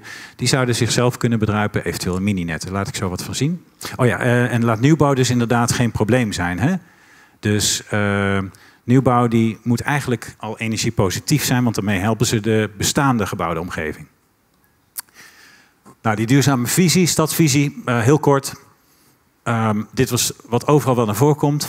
Circulair, fossielvrij, schone lucht. En dat heeft ook met fossielvrij te maken. Over schone lucht betekent ook dat we in de stad geen biobrandstoffen moeten gaan gebruiken voor vervoer. Hè, want die stookten ook uh, fijnstof uit. Um, en veel groen en blauw. En daar kunnen we veel mee. Um, Oh ja, en dat, ja, natuurlijk dat de haven daar een rol in speelt, moet evident zijn. Als we dan kijken naar de scenario's voor Amsterdam voor de toekomst, um, de vraag naar elektriciteit zal toenemen. Dat heeft te maken met natuurlijk de omschakeling naar elektrisch vervoer, uh, het, het uh, omzetten van gas naar elektrische warmtepompen. Tegelijkertijd nieuwe woningen die gemaakt worden, die zouden daar geen probleem meer in moeten zijn. Dus die zouden energie-neutraal moeten zijn. Dus dat woningen nemen toe, maar de vraag neemt dan af als dan de vraag in gewone gebouwen ook afneemt. En hetzelfde geldt voor. Oh, dit zijn de woningen. Voor, uh, dit is utiliteitsbouw, dus kantoren, industrie. Die, die zie je toch, dat is het grootste. Hè? Uh, in oppervlak uh, minder dan woningen, maar in elektriciteitsgebruik veel hoger. Um, nou, in die toekomst willen we dat dus dekken. Hè? Dus dit lijntje wat hier zit, zit nou daar. Uh, dan zie je dat ja, een groot deel, wat, wat we net al lieten zien, Amsterdam kan niet helemaal dekken. Dus we zullen ook wat moeten importeren. 40% is de schatting. En dit komt uit de duurzame bronnen dan. Daar zit met name dus die zonnecellen en daar zit wind in voor een deel. En wind, dat heeft een beetje te maken met dit plaatje, want wij kunnen in Amsterdam niet zoveel meer wegzetten aan windturbines. Uh, toevalligerwijs is dat wel voornamelijk in het havengebied. Dat zijn, de dat zijn dus die oranje turbines, die zijn er nog niet. Uh, hier langs de A10 kunnen we nog, nog wat kwijt, maar in de rest van Amsterdam eigenlijk niet. Dus als we windturbines neerzetten, dan zou dat in de haven het meest logisch zijn. Um, warmte. Dit is de warmtevraag. Die, die zou normaal gesproken iets moeten toenemen door de toename in woningen. Maar die nieuwe woningen die zouden geen probleem meer moeten zijn. Dus die zit eigenlijk, blijft, dan blijft het mee op 100. En we kunnen heel veel warmtevraag besparen in de bestaande woningen. Dan schatting zo iets van 33 procent. Uh, cijfer is iets, uh, ja, ongeveer 33 procent. Hier zie je dan wat er dan nog overblijft. En waarvan wij denken dat ongeveer 38 procent lage temperatuur kan worden. Ongeveer 38 procent kan middentemperatuur worden. En 24 procent blijft op die hoge temperatuur. Dan moet je vooral denken aan historische delen van de stad. En dan even, ik hoop dat dit even te begrijpen is. Uh, je zou kunnen zeggen, grofweg, dat woningen met een G tot ja, onderste randje D uh, label, dat die eigenlijk vrij standaard toch in die hoge temperatuur moeten blijven zitten. Dus radiatorenverwarming hè, van 90, 70 graden. Um, het middensegment, dat is, uh, die gebruiken, zouden middentemperatuur kunnen gebruiken. Die kunnen dezelfde radiatoren nog steeds in woning hebben, maar er gaat een lagere temperatuur water doorheen. En dan heb je toch, omdat je goed geïsoleerd bent, heb je voldoende warmte. En dan de beste woningen van label A en een groot deel van label B meeste leeuwen die kunnen eigenlijk naar lage temperatuursystemen. Vloerverwarming, wandverwarming, luchtverwarmingssystemen. Um, en daarvan is nu zeg maar 10% van de woningen is zo. En dat moet naar 38%. Deze, nou je moet eigenlijk zo zien. Deze gaat omlaag. Een deel daarvan gaat naar midden toe. En een heel groot deel van wat nu middenniveau eigenlijk zou kunnen zijn, maar wat uh, hoge temperatuur krijgt, kan naar laag toe. Dus dan zie je hier die labelsprongen die eigenlijk gemaakt kunnen worden. En dan zie je ook meteen de cijfertjes, om hoeveel je dan praat. Nou, daar, daar kun je dan warmtesystemen voor bedenken. Ga ik niet op in, is te technisch. Maar woningen kunnen individuele oplossing hebben of collectief. En voor de haven is met name dit interessant, want de haven kan bijdragen aan de hoge temperatuur stadswarmtenetten, hè, die door over de hele stad lopen, en de middentemperatuurwarmtenetten. Uh, te, technisch gezien, de middentemperatuur kan ook de retourstroom zijn van de hoge temperatuurwarmtenet. Maar daar kan de haven dus aan bij invoeden. Nou, hier zie je eigenlijk waar nu de warmtenetten lopen. Hè. Die zitten in die buitenrand, hier, hier. Dus dit is afvalverbranding, dit is nuon. Uh, die zitten nog niet aan elkaar. Twee handen eigenlijk om uh, de stad heen. Maar eigenlijk dit hele gebied, wat je hier ziet, met name het uh, donkerrode, dat is de historische binnenstad. het hele oud-zuid, oud-west, oud-oost zou je kunnen zeggen, is ook een beetje hoge temperatuur. Misschien bepaalde stukken middentemperatuur. Daaromheen zou een heel stuk midden kunnen. En uh, hier zie je eigenlijk waar ook nog allemaal plekjes zijn waar je eigenlijk kleine blokken veel meer zelfvoorzienend kan maken met lage temperatuursystemen. Warmte-koude opslag in de bodem, et cetera, warmtepompsystemen. Dat zie je met name natuurlijk bij de nieuwe uitleggen. Dus dit soort nieuwe eilanden, die moeten helemaal, daar moet je geen groot warmtenet in leggen. Dat is onzin. Gebruik het warmtenet om dit te helpen en niet om, om deze mensen die zichzelf wel kunnen bedienen. En datzelfde geldt voor hier. En datzelfde geldt voor de invulgebieden hier. Hè, Buiksloterham. Um, en dat betekent dat eigenlijk, en nu zie je een animatie gebeuren, langzamerhand, hoe dat warmtenet naar binnen toe getrokken kan worden. Hè, want dat is met name belangrijk. We moeten van die krans buiten naar binnen toe. En dan met name, hup, aan het einde dat ook de Amsterdamse binnenstad zelfs op het warmtenet kan. Dus een van de opties. Um, want we hebben gekeken eigenlijk naar wat zijn de verschillende buurten in Amsterdam, een beetje gebaseerd op hun bouwjaar. Want het bouwjaar zegt iets over wat de technische staat is, wat de technische bouwsystemen zijn. Of het gemakkelijk is om die aan te passen of niet. Of dat je daar eigenlijk niks mee kan. Um, nou, zo kan je elk gebied uit deze kaart kan je, uh, een setje oplossingen geven. En dan zijn dat dit soort icoontjes. Nou, en even voor de haven hebben we dus dit aangewezen. Um, veel hoge temperatuur mogelijkheden, afvalverbranding. Geothermie kan je hier gaan boren. Zonnecollectoren, uh, ondergrondse opslag ga ik zo nog even iets van laten zien. Biomassa kan je iets mee. En all-electric systemen zijn ook nog steeds mogelijk, hè, met gebruik van de bodem bijvoorbeeld. Um, toch even een plaatje, dat vind ik wel leuk om te laten zien. Binnenstadsoplossing. Ik vind het wel leuk om uh, voor te gaan stellen om warmtenetten in de grachten te leggen. In de straten is heel lastig, die liggen al helemaal vol met infrastructuur. Maar hier in het midden van de grachten, als je een beetje verder uitgaaft en dichtgooit met zand, dan heb je eigenlijk een heel efficiënt ding. Uh, die radiatoren die in die monumenten zitten, niet alles is monument, maar toch heel veel wel. Uh, die kan je gewoon laten zitten. Uh, en in plaats van de gasketel komt er een warmtewisselaar aangesloten op deze pijp. Uh, overigens kunnen de arken, de woonboten in de gracht, die mogen gewoon warmtepompsysteempjes hebben, die mogen zonnepanelen hebben. Dat mag dan wel. Maar hier mag je niet aan het glas komen en niet aan het dak. Hier mag je alles. Dus laat, laat die dan lekker uh, hun warmtepomp op het water zetten en dan vriest dat winters ook sneller dicht. Kun je weer schaatsen. Vaker dan uh, nu. En dit is een voorbeeld van een stukje in de Jordaan waar je zou kunnen denken op sommige plekken om uh, van die bodemlussen te maken. Dat zijn van die slangen, tuinslangen, die er gaan de, worden grond in gedrild. En die gebruiken dan de bodem eigenlijk als uh, warmte- of koude opslag, afhankelijk van het seizoen. Met een warmtepomp die daar dan warmte uithaalt uh, en die daar warmte in opslaat in de zomer. Nou, daar, daar kun je echte roadmaps van neerleggen, dus lijntjes waarin dingen aangepast worden. daar ga ik nu even niet op in. Um, in Amsterdam Nieuw-West, Slotermeer, hebben we ook... Daar kan je meer doen, hè, want daar heb je dus minder historische monumenten. Um, dus daar kun je meer renoveren, kun je naar lage temperaturen toe... en dan kun je naar uh, warmte-koude opslagsystemen... zoals die nu gebruikelijk zijn bij veel grote utiliteitsbouw. Uh, liefst zouden we dan zien dat de temperaturen in die opslag iets omhoog mogen. Die mag je niet meer dan 25 graden opslaan. Als het naar 40 mag, dan zouden we heel veel meer energie kunnen opslaan. En zeker als dat over een jaar in balans is, dan zou dat... Uh, fijn zijn. En uh, je kan ook uh, die borehole thermal energy storage doen, die ik net liet zien eigenlijk bij de Jordaan. Nou ja, daar kun je hier nog wat meer informatie over vinden. We maken ook van dit soort catalogussen voor uh, Citizen. Komt erop neer dat uiteindelijk in Amsterdam drie, voor elke wijk drie hoofdoplossingen afgewogen kunnen worden. Dat je grootschalig gaat renoveren naar all electric toe bijvoorbeeld. Helemaal gas weghalen, lage temperatuursystemen. Eh, je kan verschillende eh, bronnen gebruiken voor die warmtepompen. En iedereen denkt nu aan de buitenlucht, maar dat is niet zo efficiënt. Het beste, beter is oppervlaktewater, nog beter is de bodem. Is natuurlijk wel duurder. Eh, PV maxima- maximalisatie. Hè. En, en dan moet je kijken natuurlijk, kunnen we dat historisch inbedden. De tweede oplossing is warmtenetten. En ik denk dat bijna 80% van Amsterdam naar die warmtenetten toe kan. Ehm, je kan ook zeggen, een deel van de stad, bijvoorbeeld het, het echt historische deel van de binnenstad, die kan je op gas laten zitten. Maar dan maken we daar duurzaam gas van, groen gas. Biogas, eh, waterstof, synthetisch methaan. Wat weer bijvoorbeeld uit overtollige stroom in de zomer kan komen, hè, met nieuwe power-to-gas technieken. Eh, dus dat zijn veelbelovende technieken.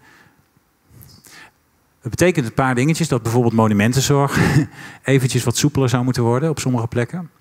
En dat we natuurlijk gaan investeren in slimme zonnetechnieken die mooi zijn geïntegreerd in bakstenen en in dakpannen. Ehm, nou, dit betekent natuurlijk dat er enorm veel netten moeten worden uitgelegd in de stad. En de laatste dat er eh, gasproductiefabrieken gaan komen weer. En daar kan de haven natuurlijk wel wat in doen. Dus het produceren van nieuw duurzaam gas. Ehm, daar hebben we deze routekaart bij. Ehm, wat, eh, wat, eh, wat ik even wil laten zien, een paar cijfertjes toch. Eh, dit is wat er per jaar, per jaar hè, vanaf nu, nodig zou zijn om op tijd in 2040 energie-neutraal te zijn. 26.000 nieuwe aansluitingen, dus ongeveer 78 kilometer warmtenet moet aangelegd worden de komende jaren, elk jaar. Nu, Daar staat 2030, hè? Tot 2030, ja. Maar vanaf nu. In 12 jaar. Wat wel vanaf nu tot 2040 is, is zonnepanelen. 14 hectare per jaar op daken en 14 hectare op andere oppervlakten. Industrie, hè? In de haven. Ehm, dus dan praat je over 650 panelen per werkdag die moeten worden gelegd. Dat zijn bijvoorbeeld 16 woningen en dan nog 500 vierkante meter aan industrieel dak of, of, of dijken of zo.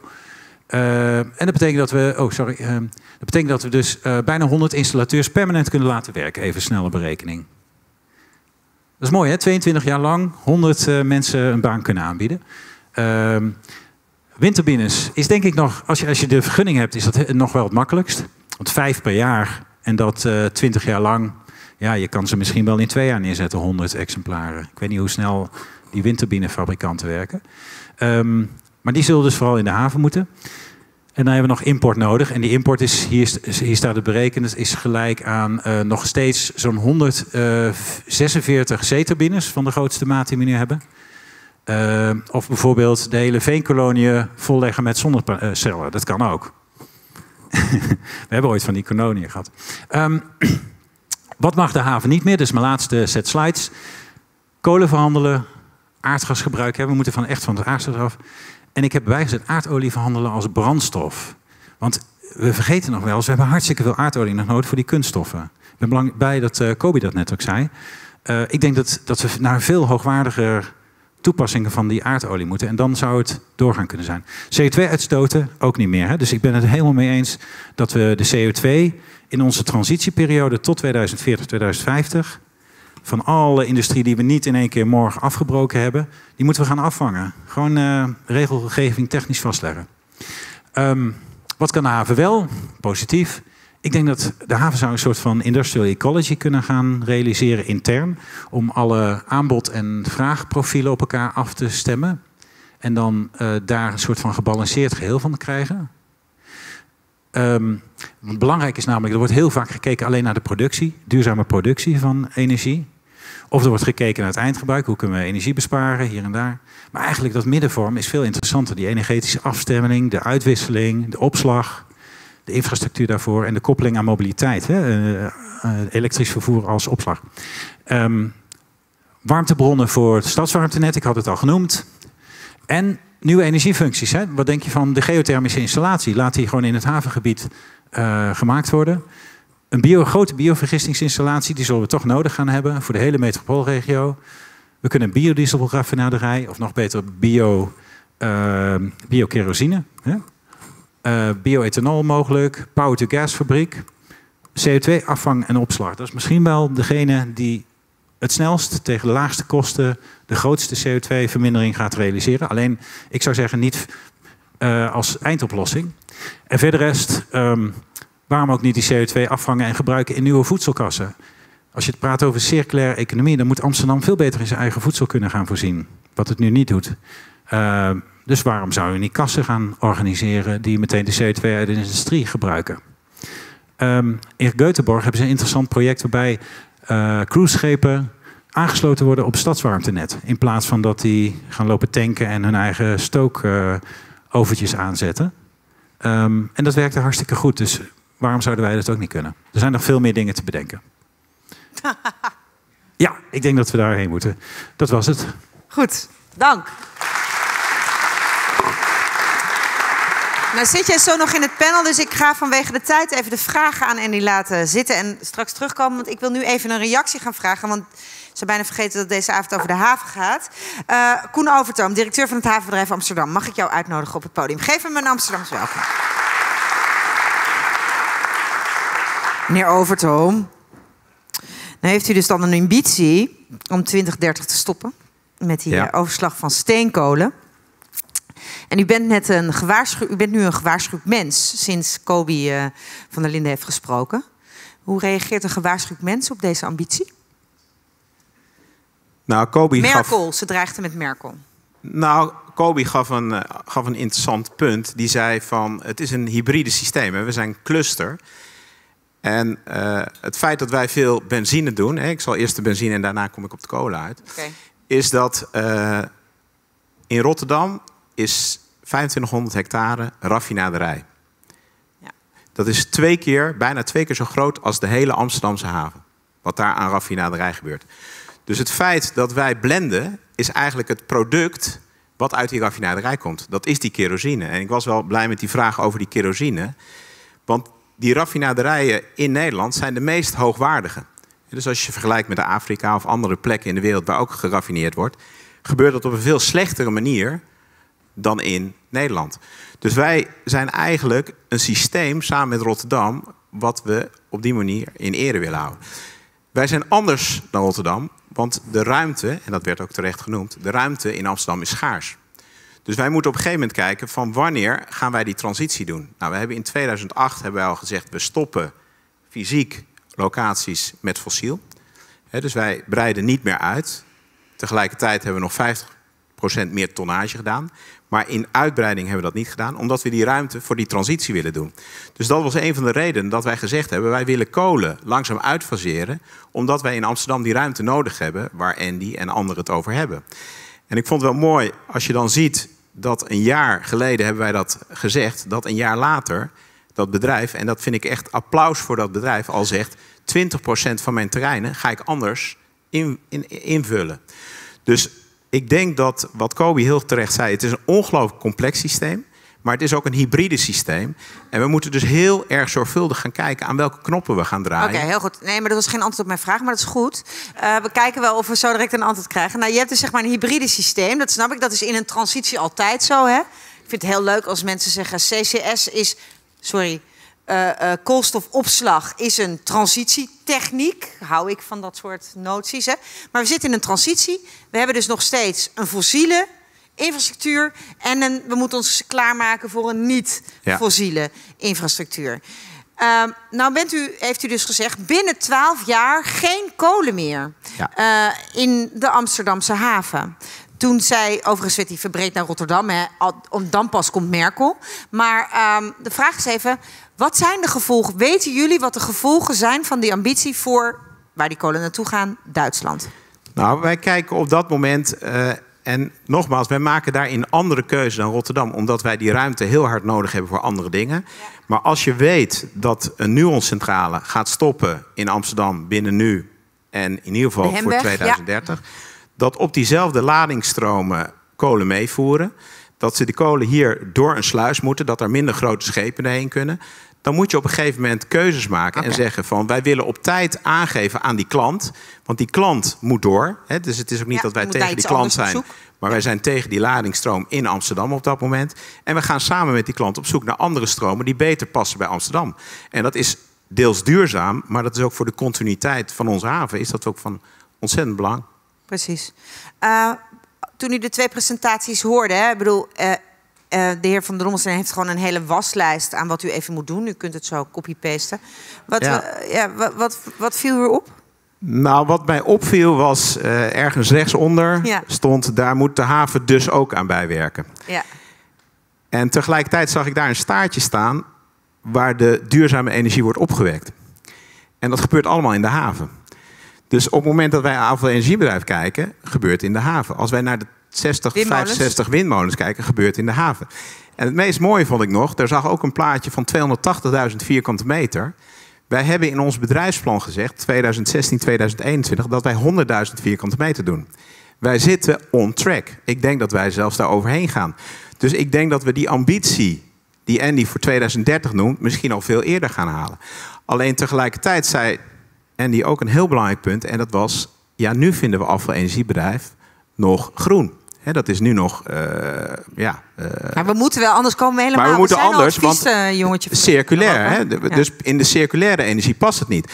Tegelijkertijd zie je vanuit dat systeem dat dat warmtenet, wat door afvalenergiebedrijf Amsterdam gevoed wordt, eh, nog wel ingetekend is.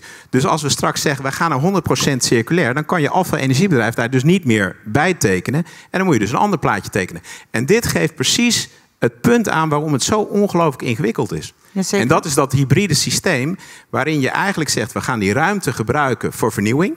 En dat doen we. We hebben onlangs aangekondigd dat wij bijvoorbeeld eh, nu een bedrijf hebben in Amsterdam... dat van plastic, dus al het oude plastic, weer olie maakt. Hè? Dan kun je zeggen, ja, hoe duurzaam is dat? Want het is uiteindelijk nog wel... pyrolyse, hoe heet, hoe heet het? Ja. Pyrolyse. Maar dat gaat, dat gaat uiteindelijk gebeuren. En tegelijkertijd zijn wij nu, en ik denk dat dat wel een hele mooie is, die ook vanavond aan, aan het groen gas of wat gekeken werd, hoe zou je dat kunnen doen, zitten wij te kijken, kan je bijvoorbeeld door middel van die windmolens die energie aan land brengen, en die uiteindelijk in combinatie met die CO2 van Tata, kunnen we daar bijvoorbeeld synthetische kerosine van maken. Nou, dat zijn projecten die tegelijkertijd wel veel geld kosten. En dus Nog we een keer, want de mensen, u gaat nu te snel. En we gaan zo met Tata praten, maar wacht even. U zegt, we hebben windmolens. Ja, die gaan aan land. Ja. Die brengen energie aan land. Daar Op maken zee we, bedoelt u? Ja, dus, of ja? van zee naar land. Ja, Daar maken we waterstof van. ja, Die waterstof combineren we met de CO2-afvang van Tata. ja, En daar maak je synthetische kerosine van. ja. Dan sla je twee vliegen in één klap. Dan hoef je niet die carbon capture storage te doen, want dan ga je naar carbon capture usage. En dat is dus een veel snellere manier om te kijken hoe je dat uiteindelijk zou kunnen realiseren. Nou, daar zijn manieren voor, maar uiteindelijk moet je die synthetische kerosine ook weer opslaan. En daar heb je weer tanks voor nodig. Dus uiteindelijk, als je dat hybride houdt en je kan het Nee, we uitfaseren... zullen, eh, onze hele samenleving zal altijd opslag moeten. Sterker nog, we, hebben nu ook, eh, we moeten Ja. ook straks elektriciteit gaan opslaan. Klopt. Dus, dus, dus de, een paar, ik hoorde dat ergens in de wandelgangen dat de haven nu de batterij van de stad. Hè, die notie, eh, dat is natuurlijk een heel soort mooie metafoor voor wat het wordt. Of waar nou, jullie net wat het wordt, we zijn het al. Hè. Kijk, alleen was het voorheen was het, eh, de kolencentrale en Alfa Energiebedrijf. En straks worden het vernieuwingen. Maar wij zijn natuurlijk altijd een onderdeel van die stad geweest. En we zullen altijd een onderdeel blijven. Want wij zijn gewoon een spiegel in die zin van de maatschappij. Wat heeft u nou het meeste nodig? We gaan zo dat panelgesprek in met allerlei, eh, eh, nou, laten we zeggen, in brede zin stakeholders van dit gesprek. Eh, wat, wat heeft u nou, waar maakt u zich het meeste zorgen over als u zo'n ambitie heeft geformuleerd, eh, eh, eigenlijk een stip op de horizon heeft, heeft gezet, dit willen wij? Wa- waar zegt u nou, die barrière die moeten we nog wel even beslechten voordat ik, het, voordat ik in 2030 echt kan zeggen, we've done it. Yes, we can. Yes, we did. Nou, de barrière die je moet slechten, en dat is, je moet een betrouwbare partner blijven. En wij zijn een bedrijf, wij geven contracten aan onze klanten. En dat zijn contracten voor 40, voor 50 jaar. Dus dat zijn contracten die je wil respecteren. En die bedrijven zijn ook bezig met hun toekomst. En die bedrijven zitten ook te kijken hoe ze ze kunnen vernieuwen. En wat ik denk de belangrijkste barrière is die we moeten beslechten, is dat als je naar dit soort oplossing wil gaan, dan moet je naar vergaande samenwerking gaan. Dan zit alleen al eh, de mededingingsautoriteit is lastig. Hè? Want heel vaak is een feedstock eh, zo specifiek. Dus iets wat je nodig hebt om, om, om bij wijze van spreken een product van te maken. Dat dat vanuit eh, eh, mededingingsautoriteiten niet kan. Want dan moet je aanbesteden. Hè? Dus daar zitten een aantal problemen. Ja, precies. ik- Als je in de keten wil samenwerken tussen, een tussen iemand die je levert en iemand die gebruikt. Ja. En dan zou je willen samenwerken om gezamenlijk die investering van die vernieuwing, die innovatie te betalen. Maar dat mag niet. Ja. Want je moet, je hebt eigenlijk een relatie met elkaar die klant-afnemer is. Of hoe zeg je Ja. dat? Eh, leverancier-afnemer. En dat moet volgens bepaalde procedures. En dan moet je aanbesteden en dan ben je zo weer een jaar verder. Dus dan hou je dus uiteindelijk die Nee, vernieuwing nee, tegen. ja. Tweede was bijvoorbeeld dat eh, bedrijf wat wij nu gevestigd hebben, wat van plastic olie maakt. Je kan van olie heel makkelijk plastic maken. In alle vergunningen is dat geen probleem. Als je van plastic olie maakt, die vergunning heeft twee jaar geduurd. Dus voordat je verder bent om dat uiteindelijk te realiseren, ben je twee jaar verder. Maar die partnership waar ik nog even op terug wil komen, je wil een betrouwbare partner zijn. Dus wat wij gedaan hebben, wij hebben ons met die uitspraak echt gestretched. Het 2030 is echt stretchen. Voor ons als haven en eh, ook voor die bedrijven. En wat dan echt heel erg gevaarlijk is, is als je door populisme op een gegeven moment dingen gaat roepen zonder dat je de kennis hebt van wat het uiteindelijk voor die bedrijven betekent. Welke populist wilt u nu even noemen? Noemt u eens Nou, een voorbeeld. Waar heeft u het dan over? Ik heb het erover dat mensen opeens gaan roepen, ja, 2030 kan ook 2020 zijn. Ah, ja. En Ja, dan dat- ga je namelijk naar een niet realistische weergave van de werkelijkheid. En dat is denk ik ook dat als wij data laten zien, hè, want Andy liet ook data zien van, van die veerboten, dat is natuurlijk vrij makkelijk gezegd van die boot die van Amsterdam naar Parijs gaat. Maar als jij 400 containers vervoert op die boot, en je kijkt dan wat het per container is, dan ben ik ervan overtuigd dat Nee. nog steeds zo, die 400 containers per boot, minder CO2 dan, eh, eh, dan een vrachtauto. En ondertussen zijn wij natuurlijk eenheid ook. product, hè? Dit was per eenheid. Dit was een andere een. Dus dat was ook een. Ja, precies. Per eenheid product is dat natuurlijk nog steeds zo. Daarom wordt het zoveel gedaan. Ja. En ik denk dat eh, dat verplicht ons niet om uiteindelijk wel te kijken hoe kunnen we het verbeteren. En we hebben onlangs bijvoorbeeld een subsidie gegeven voor een elektrische binnenvaartschip. Nou, dat is duurder, maar daar ga je mee wel het op gang brengen. Maar ik denk dat, dat elkaar echt goed informeren en betrouwbaar naar elkaar toe blijven, dat dat de enige mogelijkheid is om dit ongelooflijk complexe verhaal, want het is echt super, super complex, om dat gewoon met elkaar op te lossen. Ja, dat is mooi. Dus u zegt, omarm nou die complexiteit. Want alleen als je echt complexiteit wil zien, dan zie je oplossingen en dan kunnen we met elkaar praten. En om die complexiteit op te lossen, hebben we andere samenwerking nodig en een andere houding soms. Ehm, dat betekent dat u nu vanaf nu nog eh, het komende half uur bij dat panelgesprek, als u iets populistisch hoort, dan, dan knipoogt u even naar mij en dan weet ik, oh, ik moet eventjes doorvragen of ik kom even naar u om toe te lichten waarom u dat populistisch vond. Ehm, eh, dank, Ik denk dat eh, je het zelf dan al heel goed weet. Ja, goed. Eh, dank, dank voor nu. Eh Koen. Prima. Oké, kom maar naar voren. Je bent al genoemd of je werd al even. eh, u eh, zei vanaf de, eerste, eh, eh, eh, vanaf de eerste lijn al wat. Faisa Oulase, van campagneleider klimaat en energie van het illustre Greenpeace. Eh, welkom op het podium. Amsterdams welkom voor jou. Vanuit Amsterdam Noord. Andy, u zag hem net al van de Dommelsteen. Eh, graag, je mag weer in het panel, ja. Eh Roger Steens, dir- Director Sustainability van Tata Steel. We hadden werd het ook al even genoemd. Welkom. Applaus doen we dan. Applaus, applaus, applaus. En de Managing Director van NG, Bart-Jan Frederiks. Mag ik vragen om u ook u om op het podium te komen? Heren en dames. Ehm, Ja. Nou, we hebben heel veel, zeg maar. Dit is er allemaal aan de hand in de wereld van benzine, eh, eh, olie, eh, kolen. En de Amsterdamse haven die die ambitie heeft. Ehm, wat is het spannendst aan die ambitie? Ja, ik denk dat het spannendst wordt samenwerking. Ja. Ja. En dat iedereen durft ook zijn belangen af en toe opzij te zetten voor het andere doel. Wanneer En heeft, het u, kan wel. wanneer heeft u voor het laatst uw eigen belangen opzij gezet voor een algemener doel? En kunt u daar een voorbeeld van geven? Nou, los van de verbouwing van de kamer van mijn dochter, dat was wel een goed doel. Maar terwijl ik mijn eigen belangen opzij gezet. Naar privé eh, situatie gaat. Mijn vrouw en ik. Het meest recent vroeg je dus. eh, Nee, nee, nee hoor, nee. Maar ehm, nou, we hebben wel een aantal goede voorbeelden in, eh, in de stad, ook in, in de haven. Waar ook bijvoorbeeld energiebedrijven hebben samengewerkt om te kijken van hey, hoe kunnen we nou voor een bepaald gebied die duurzaamheid vergroten voor de eindgebruiker, de bewoners, eh, gebouwen. Ik noem een voorbeeld Overhoeks. Hebben wij samengewerkt met, eh, met, met Nuon. En dan moesten we echt eventjes over elkaars belangen heen stappen. En voor wie niet weet wat NG is, want het is pas, zeg maar, klinkt als een nieuwkomer, hè, want wij kennen het nog niet zo goed. Wat, leg even uit wat jullie doen en zijn. Wij zijn een eh, energie- en techniekbedrijf. We zijn dus ook technisch dienstverlener. Vroeger heette Maar- wij Covely en heel vroeger eh, aan de energiekant Gas de France. Precies. Gas de France. Dat Gas helpt wel hoor. Even Ja. iets te snappen van. Ja. U zegt wij hebben een technische eh, eh, ins- installatie.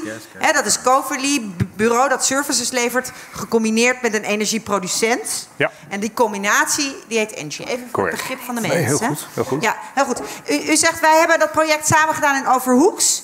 Eh, net zei de heer Overtam, we hebben echt een probleem wel. Misschien eh, als we die innovatie echt willen versnellen, dan hebben we iets met mededingingswetgeving. Eh, eh, wat is er nog meer spannend aan samenwerken?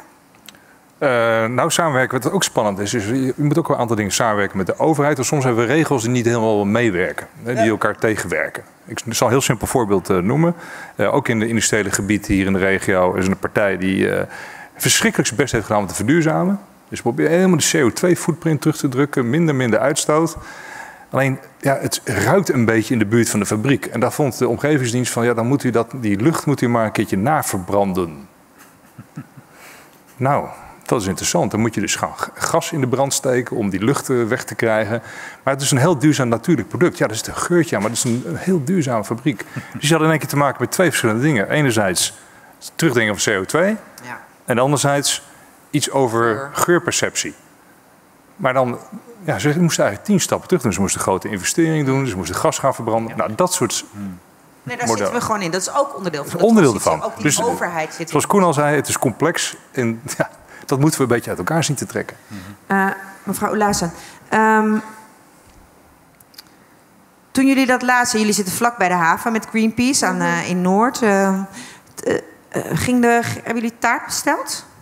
Dat de steenkolenambitie, de steenkolen om te stoppen, toen de haven dat, eh, toen de haven dat bekend maakte? Ehm, nou ja, we hebben aangegeven dat we het een, een hele goede stap vinden. eh, in, in de juiste richting. Maar om te zeggen dat we taart hebben besteld en dat de fles champagne ontkurkt is, dat nog net niet. Kijk, ik, ik heb eventjes zitten luisteren naar wat Kobe heeft eh, gezegd. eh Andy, maar ook ehm, Koen, directeur van het havenbedrijf. En er zijn heel veel dingen genoemd. Hè. We zijn van wereld, wereldwijde problematiek gegaan. Dat is nou helemaal klimaatverandering tot aan eh, om het te reduceren naar de haven Amsterdam. Hè, en ik gaf al commentaar op, het, eh, op de presentatie van Kobe van... Hè, we hebben afgesproken wereldwijd, we moeten de temperatuur proberen te beperken, de stijging tot 2 graden, het liefst anderhalf. Well below 2 degrees. Well below 2 degrees. En voor heel veel mensen is dat een kwestie van leven en dood als het niet zelfs anderhalve graden is. En dat hebben we ook opgeschreven in het Parijsakkoord. Nou, dan kijk ik naar de haven, het havenbedrijf eh, Amsterdam. Dat is eigenlijk een staatsbedrijf. En dan denk ik, respecteer dat. En dan moet je denk ik niet... Waarom zeggen er staat wel 100% van de aandelen van de NV van de haven is in eh, handen van de stad Amsterdam. Klopt dat? Ja. Ja. En dan denk ik, dan is, het dan is het juist ontzettend belangrijk om het goede voorbeeld te geven en om te kijken wat moeten wij doen om in lijn te handelen met het klimaatakkoord van Parijs. Om ook klimaatverandering, want daar zijn we al mee gebaat, om dat aan te pakken. Ja, dan is 2030 eigenlijk niet snel genoeg. En dan kan je wel zeggen van, oh ja, maar nee, je hebt een aantal populi- populisten die zeggen, doe het maar eerder, doe het bijvoorbeeld in 2025. Maar ja, is dat populisme of is dat gewoon zeggen waar het op staat? Want de klimaatwetenschap is vrij duidelijk. En met het klimaat valt simpelweg niet te onderhandelen. En ik begrijp heel goed, ik heb heel veel gesprekken ook met bijvoorbeeld bedrijven in de haven van Amsterdam. Ook met een Nuon, ook met een havenbedrijf Amsterdam, maar ook dat van Rotterdam. En dat transitie is gewoon best lastig. Maar ja, we moeten wel bedenken, het moet gewoon echt heel snel, want we hebben weinig tijd. Dus ik zou heel graag het havenbedrijf ook in dit debat willen uit- uitdagen, ook prikkelen. Van je hebt een heel mooi doel voor 2030, maar dat is nog wel vrij, vrijblijvend. Waar maak je daar geen hard beleid van? Goed, daar komen we zo verder op terug. Dat is, dus, je zegt, ik wil nog even nog iets concreets maken. Hoe luistert u als directeur Sustainability van Tata Steel? U werd net even genoemd hè, als Ja. voorbeeld van die synthetische kerosine. Is dat echt zo'n eh, hoopvol alternatief, zodat we eigenlijk duurzaam kunnen vliegen? Eh, ik denk dat de holy grail van, van klimaatinterventie wel is dat alles aan elkaar gekoppeld is. Op een zodanige manier dat als je nog CO2 uitstoot, dat je die in ieder geval weer gebruikt als ingangsmateriaal voor de volgende cyclus. Ja. Ehm, en je moet dan ergens beginnen eh, om, om die nieuwe industriële realiteit concreet te maken. Ja, CO2 als bron eigenlijk voor een nieuw soort product. Ja, en, eh, en, en ik denk dat, dat daar dus de grootste uitdaging zit. Hè? De, de, de ambitie, ik denk dat we de ambitie delen. Eh, de vergezichten, ik denk dat we die delen. eh, van waar het uiteindelijk naartoe moet. Maar die eerste concrete stap zetten, die ons op die roadmap zet naar dat eindplaatje, hè, dat vraagt een hele concrete samenwerking. Waarbij je zegt: oké, wat kunnen we nu al doen? Als een no-regret eh, optie. Zodanig dat we dat verder kunnen uitbouwen. Niet alleen voor de Eimond en de haven Amsterdam. Maar misschien ook voor de BV Nederland. En misschien ook hè, als, als export van eh, zo ga je met de industrie een, een transitiepad in. Ja. Hè, En dan moet je ergens beginnen, heel concreet. En dan kom je hele eh, eh, vanzelfsprekende blokkades tegen, zoals wet en regelgeving. Hè, maar ook hoe verdeel je het geld? Eh, is er wel voldoende geld te verdienen in het nieuwe model? Want je gaat extra kosten eh, toevoegen aan het systeem. Ehm, en, en daar zie je, eh, want je had het net over spannend, daar zie je op dit moment hele spannende discussies en dialogen plaatsvinden tussen partijen om dat mogelijk te maken. Ja. Ehm, u, u, zegt eigenlijk heel interessant, u zegt hoe zit het met de, met de eventuele financiering van dingen, maar ook is zo'n is zo'n transitie niet te duur? Of hoe zit het met de kosten? Ehm, dus u kijkt er eigenlijk heel rationeel naar. Nou is dat natuurlijk niet gek als je eh, eh, bij een onderneming werkt, dat je gewoon naar de business case kijkt. Ja. Vindt u het haven, de haven, dat de haven het. Heeft de haven u al overtuigd dat er een business case is voor dit scenario? Ehm, ik denk dat het goed is om te kijken naar eh, wat die business case dan is. Eh, als, je, als, je, als je kijkt naar het staalbedrijf, eh, wat een transitie wil maken naar CO2-neutraal staal maken, dan hebben we een aantal randvoorwaarden nodig om dat mogelijk te maken. Ja. En die randvoorwaarden die heb je niet binnen nu en vijf jaar gerealiseerd. Dat duurt 20 tot 30 jaar. Dus een paar voorbeelden van die randvoorwaarden. Grote hoeveelheden waterstof. Ja, Ehm, die zijn er helemaal nog die, niet. die zijn er helemaal nog niet. Kunnen we ook helemaal nog niet maken. En om die grote hoeveelheden waterstof te, te, te realiseren hè, vanuit renewable energie. eh, zul je dus eh, eh, ook een markt moeten gaan creëren om, om dat in gang te zetten. Ja. En dan zie je dat zo'n haven Amsterdam een, een katalysator kan zijn. Ja. met bijvoorbeeld het voorbeeld van die kerosine, om dat in gang te zetten. Ehm, dus zo, zijn er, zo, zo kijk je dus eigenlijk vanuit ons bedrijf kijk je niet naar wat zou de toekomst van de haven Amsterdam moeten zijn. Ehm, maar je kijkt eigenlijk meer naar wat is er nodig voor ons om die transitie door te maken. Eh, zijn wij dan goed gepositioneerd eh, in de Eimond? En wie zijn alle partijen eh, die alle vlaggetjes kunnen laten vallen eh, om, om het in gang te zetten? En zo kijken wij dus naar, naar de haven Amsterdam als, als partner, potentiële partner, om die transitie in gang te zetten. Duidelijk. Eh, ehm, meneer Van der Dobbelsteen, die... Zeg maar, Andy. Ja, zeker. Eh, maar niet hier. Ehm, dus eh, in uw roadmap van u ging het natuurlijk heel erg over de bebouwde omgeving. Mhm. Eh, en daar is hoge temperatuur een lausies 65 graden. Maar zoals in de presentatie van mevrouw Van der Linden al werd gezegd... is dat die industrie natuurlijk een veel groter... eh, daar is 65 graden koud. Ja. Eh, we hebben het echt over honderden, duizenden graden. Of, eh, dat zit Bij Tata helemaal- zeker, ja. Ja, ja. Ja. Dat zit toch... He...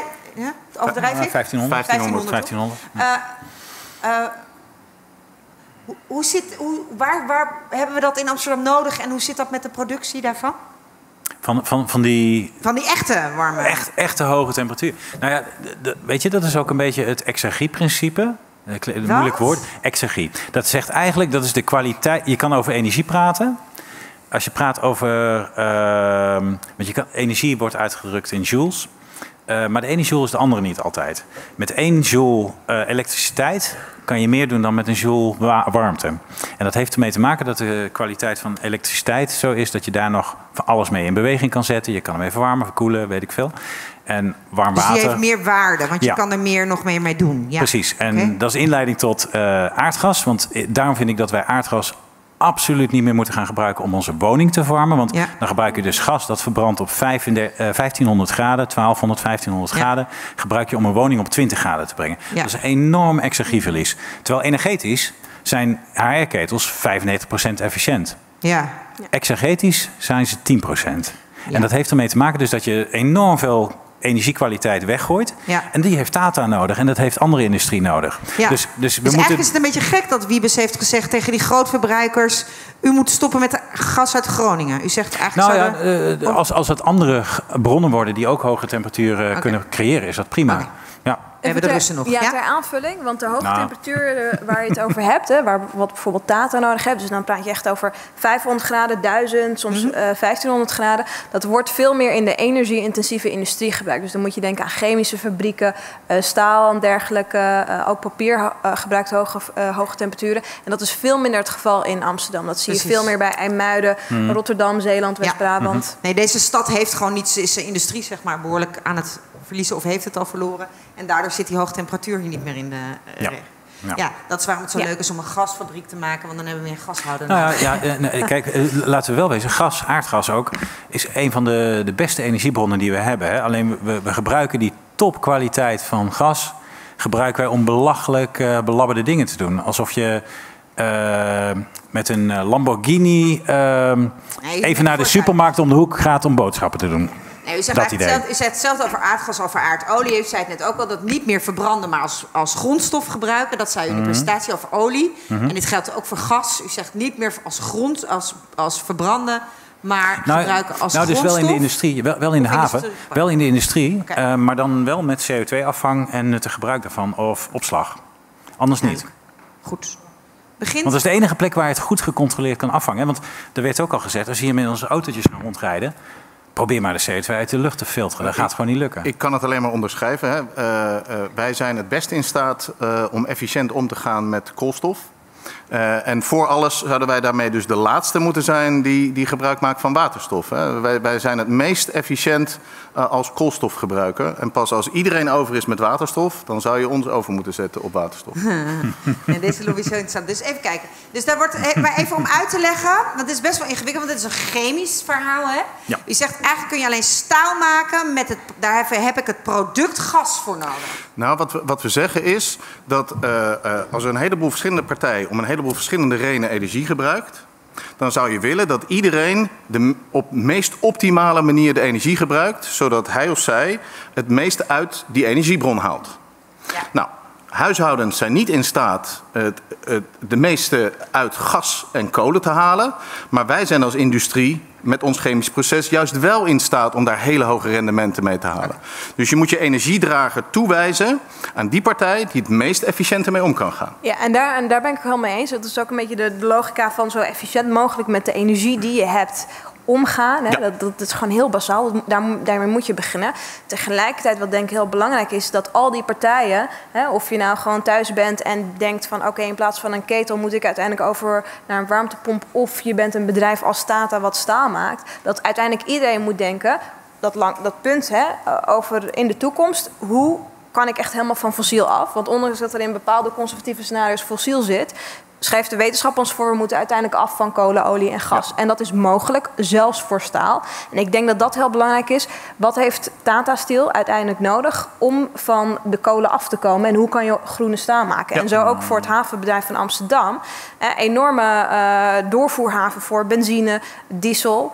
Eh, nu ook eh, opslag voor kolen. Nou ja, dat gaat eruit. Maar benzine en diesel, met de opkomst van elektrische auto's, zal een flink deel daarvan verdwijnen. Nou ja, wat is dan het alternatief voor de haven van Amsterdam? Je gaf wel aan voor kolen. We hebben eigenlijk die ruimte keihard nodig voor andere zaken.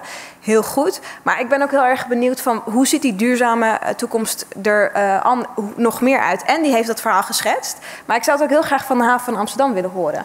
Ja. Anders ga je namelijk straks krimpen. en wat doe je dan? Komt u maar even staan, dan kan iedereen u zien. Dat is fijn. Even omdraaien. Ja, ik vind ze leuk. Ja. Nee, wij zijn daar eh, inderdaad druk mee bezig. Zoals al gezegd, circulair vraagt enorm veel ruimte. Dus we zijn met een aantal initiatieven, eh, Chaincraft, eh Bin to Barrel, een aantal bedrijven. Niemand begrijpt dit. Nou, vetten uit, eh, dus uit afval van supermarkten weer nieuwe vetten halen. Dat is een van de onderdelen. Houtvergisting. Eh afvalenergiebedrijf haalt nu 66% van hun afval, scheiden ze al. Als je afval verbrandt, kun je dat heel effectief op grond doen. Als je het gaat scheiden, heb je veel meer ruimte daarvoor nodig. Dus daar zijn we heel erg mee bezig. Wat we vergeten is dat eh, om die windmolens eh, en die parken te gaan bouwen, heb je ook offshore terreinen nodig. Hè? Dus daar heb je ook veel terreinen voor nodig. We hebben scheepsbouw nu eh, die langzaam weer terug naar Amsterdam gaat. Dus we hebben die ruimtes voor heel veel andere dingen nodig dan fossiel op dit moment. En dat is ook een van de redenen dat dat bedrijf OBA ook gezegd heeft... van joh, 20% na een jaar ga ik al anders invullen. Precies. Ik denk één onderwerp wat nog te veel in mijn ogen onderbelicht is... is de datacenters.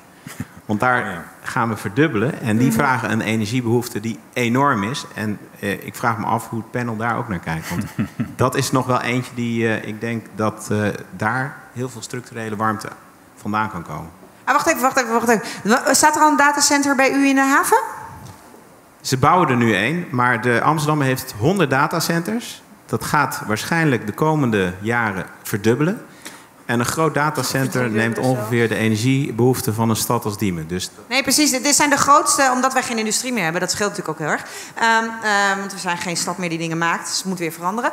Maar die datacenters zijn de grootste energieverbruikers op dit moment. In Amsterdam. Hè. Die staan op de hoogste lijstjes. En u zegt, dan gaan we van 100 naar 200. Die produceren natuurlijk van elektriciteit. Al die servers produceren warmte. En u zegt, dat zou eigenlijk heel interessant zijn... om die warmte te gaan gebruiken als invoer voor die warmtenet. Ja, precies. Ik, ik probeer het even nog een keertje. Misschien dat het overdreven is, maar ik probeer het dan voor mezelf ook te begrijpen. Goed. Ja, iemand roept, dus dan is het handig. Ja, ik zag u niet. Komt in de microfoon. Ik kan me voorstellen dat er heel veel elektriciteit naartoe gaat. Maar Schiphol is, niet, eh, is dat niet eh, de grootste afnemer van energie? Oh, de discussie, ja, Schiphol he- is dat dan Amsterdam? Ja, heel goed debat. Eh, maar eh, eh, natuurlijk, ja. Ja, leuk, ja. Eh, dank. Ja, dan gaan we. Kunnen we even een beetje sneller er doorheen gaan? Zal ik helpen? Want we gaan nu dus even gewoon even kijken wat de zaal nog allemaal aan lumineus ideeën heeft. Ik, ik, ik had nog even een vraag over eh, die datacenters. Ja. Kunnen die als het ware eh, dezelfde temperatuur eh, eh, opleveren die dus nu de afvalenergiecentrales opleveren? Dus kunnen zij in feite de functie van het afvalenergiecentrale overnemen als voor de bron van warmtenet? Nee, die 90 graden die gaan ze niet eh, zo, zo redden. Zeker als je dat moet gaan eh, vervoeren. Maar we hebben nog wel een ander issue met datacenters. En dat is de hoeveelheid beschikbare energie eh, in de buurt. Want dat keer twee, dat, eh, op dit moment is het al een uitdaging om de boel op spanning te houden. Maar daar hebben we nog wel wat te doen voordat we naar de verdubbeling van het aantal datacenters gaan.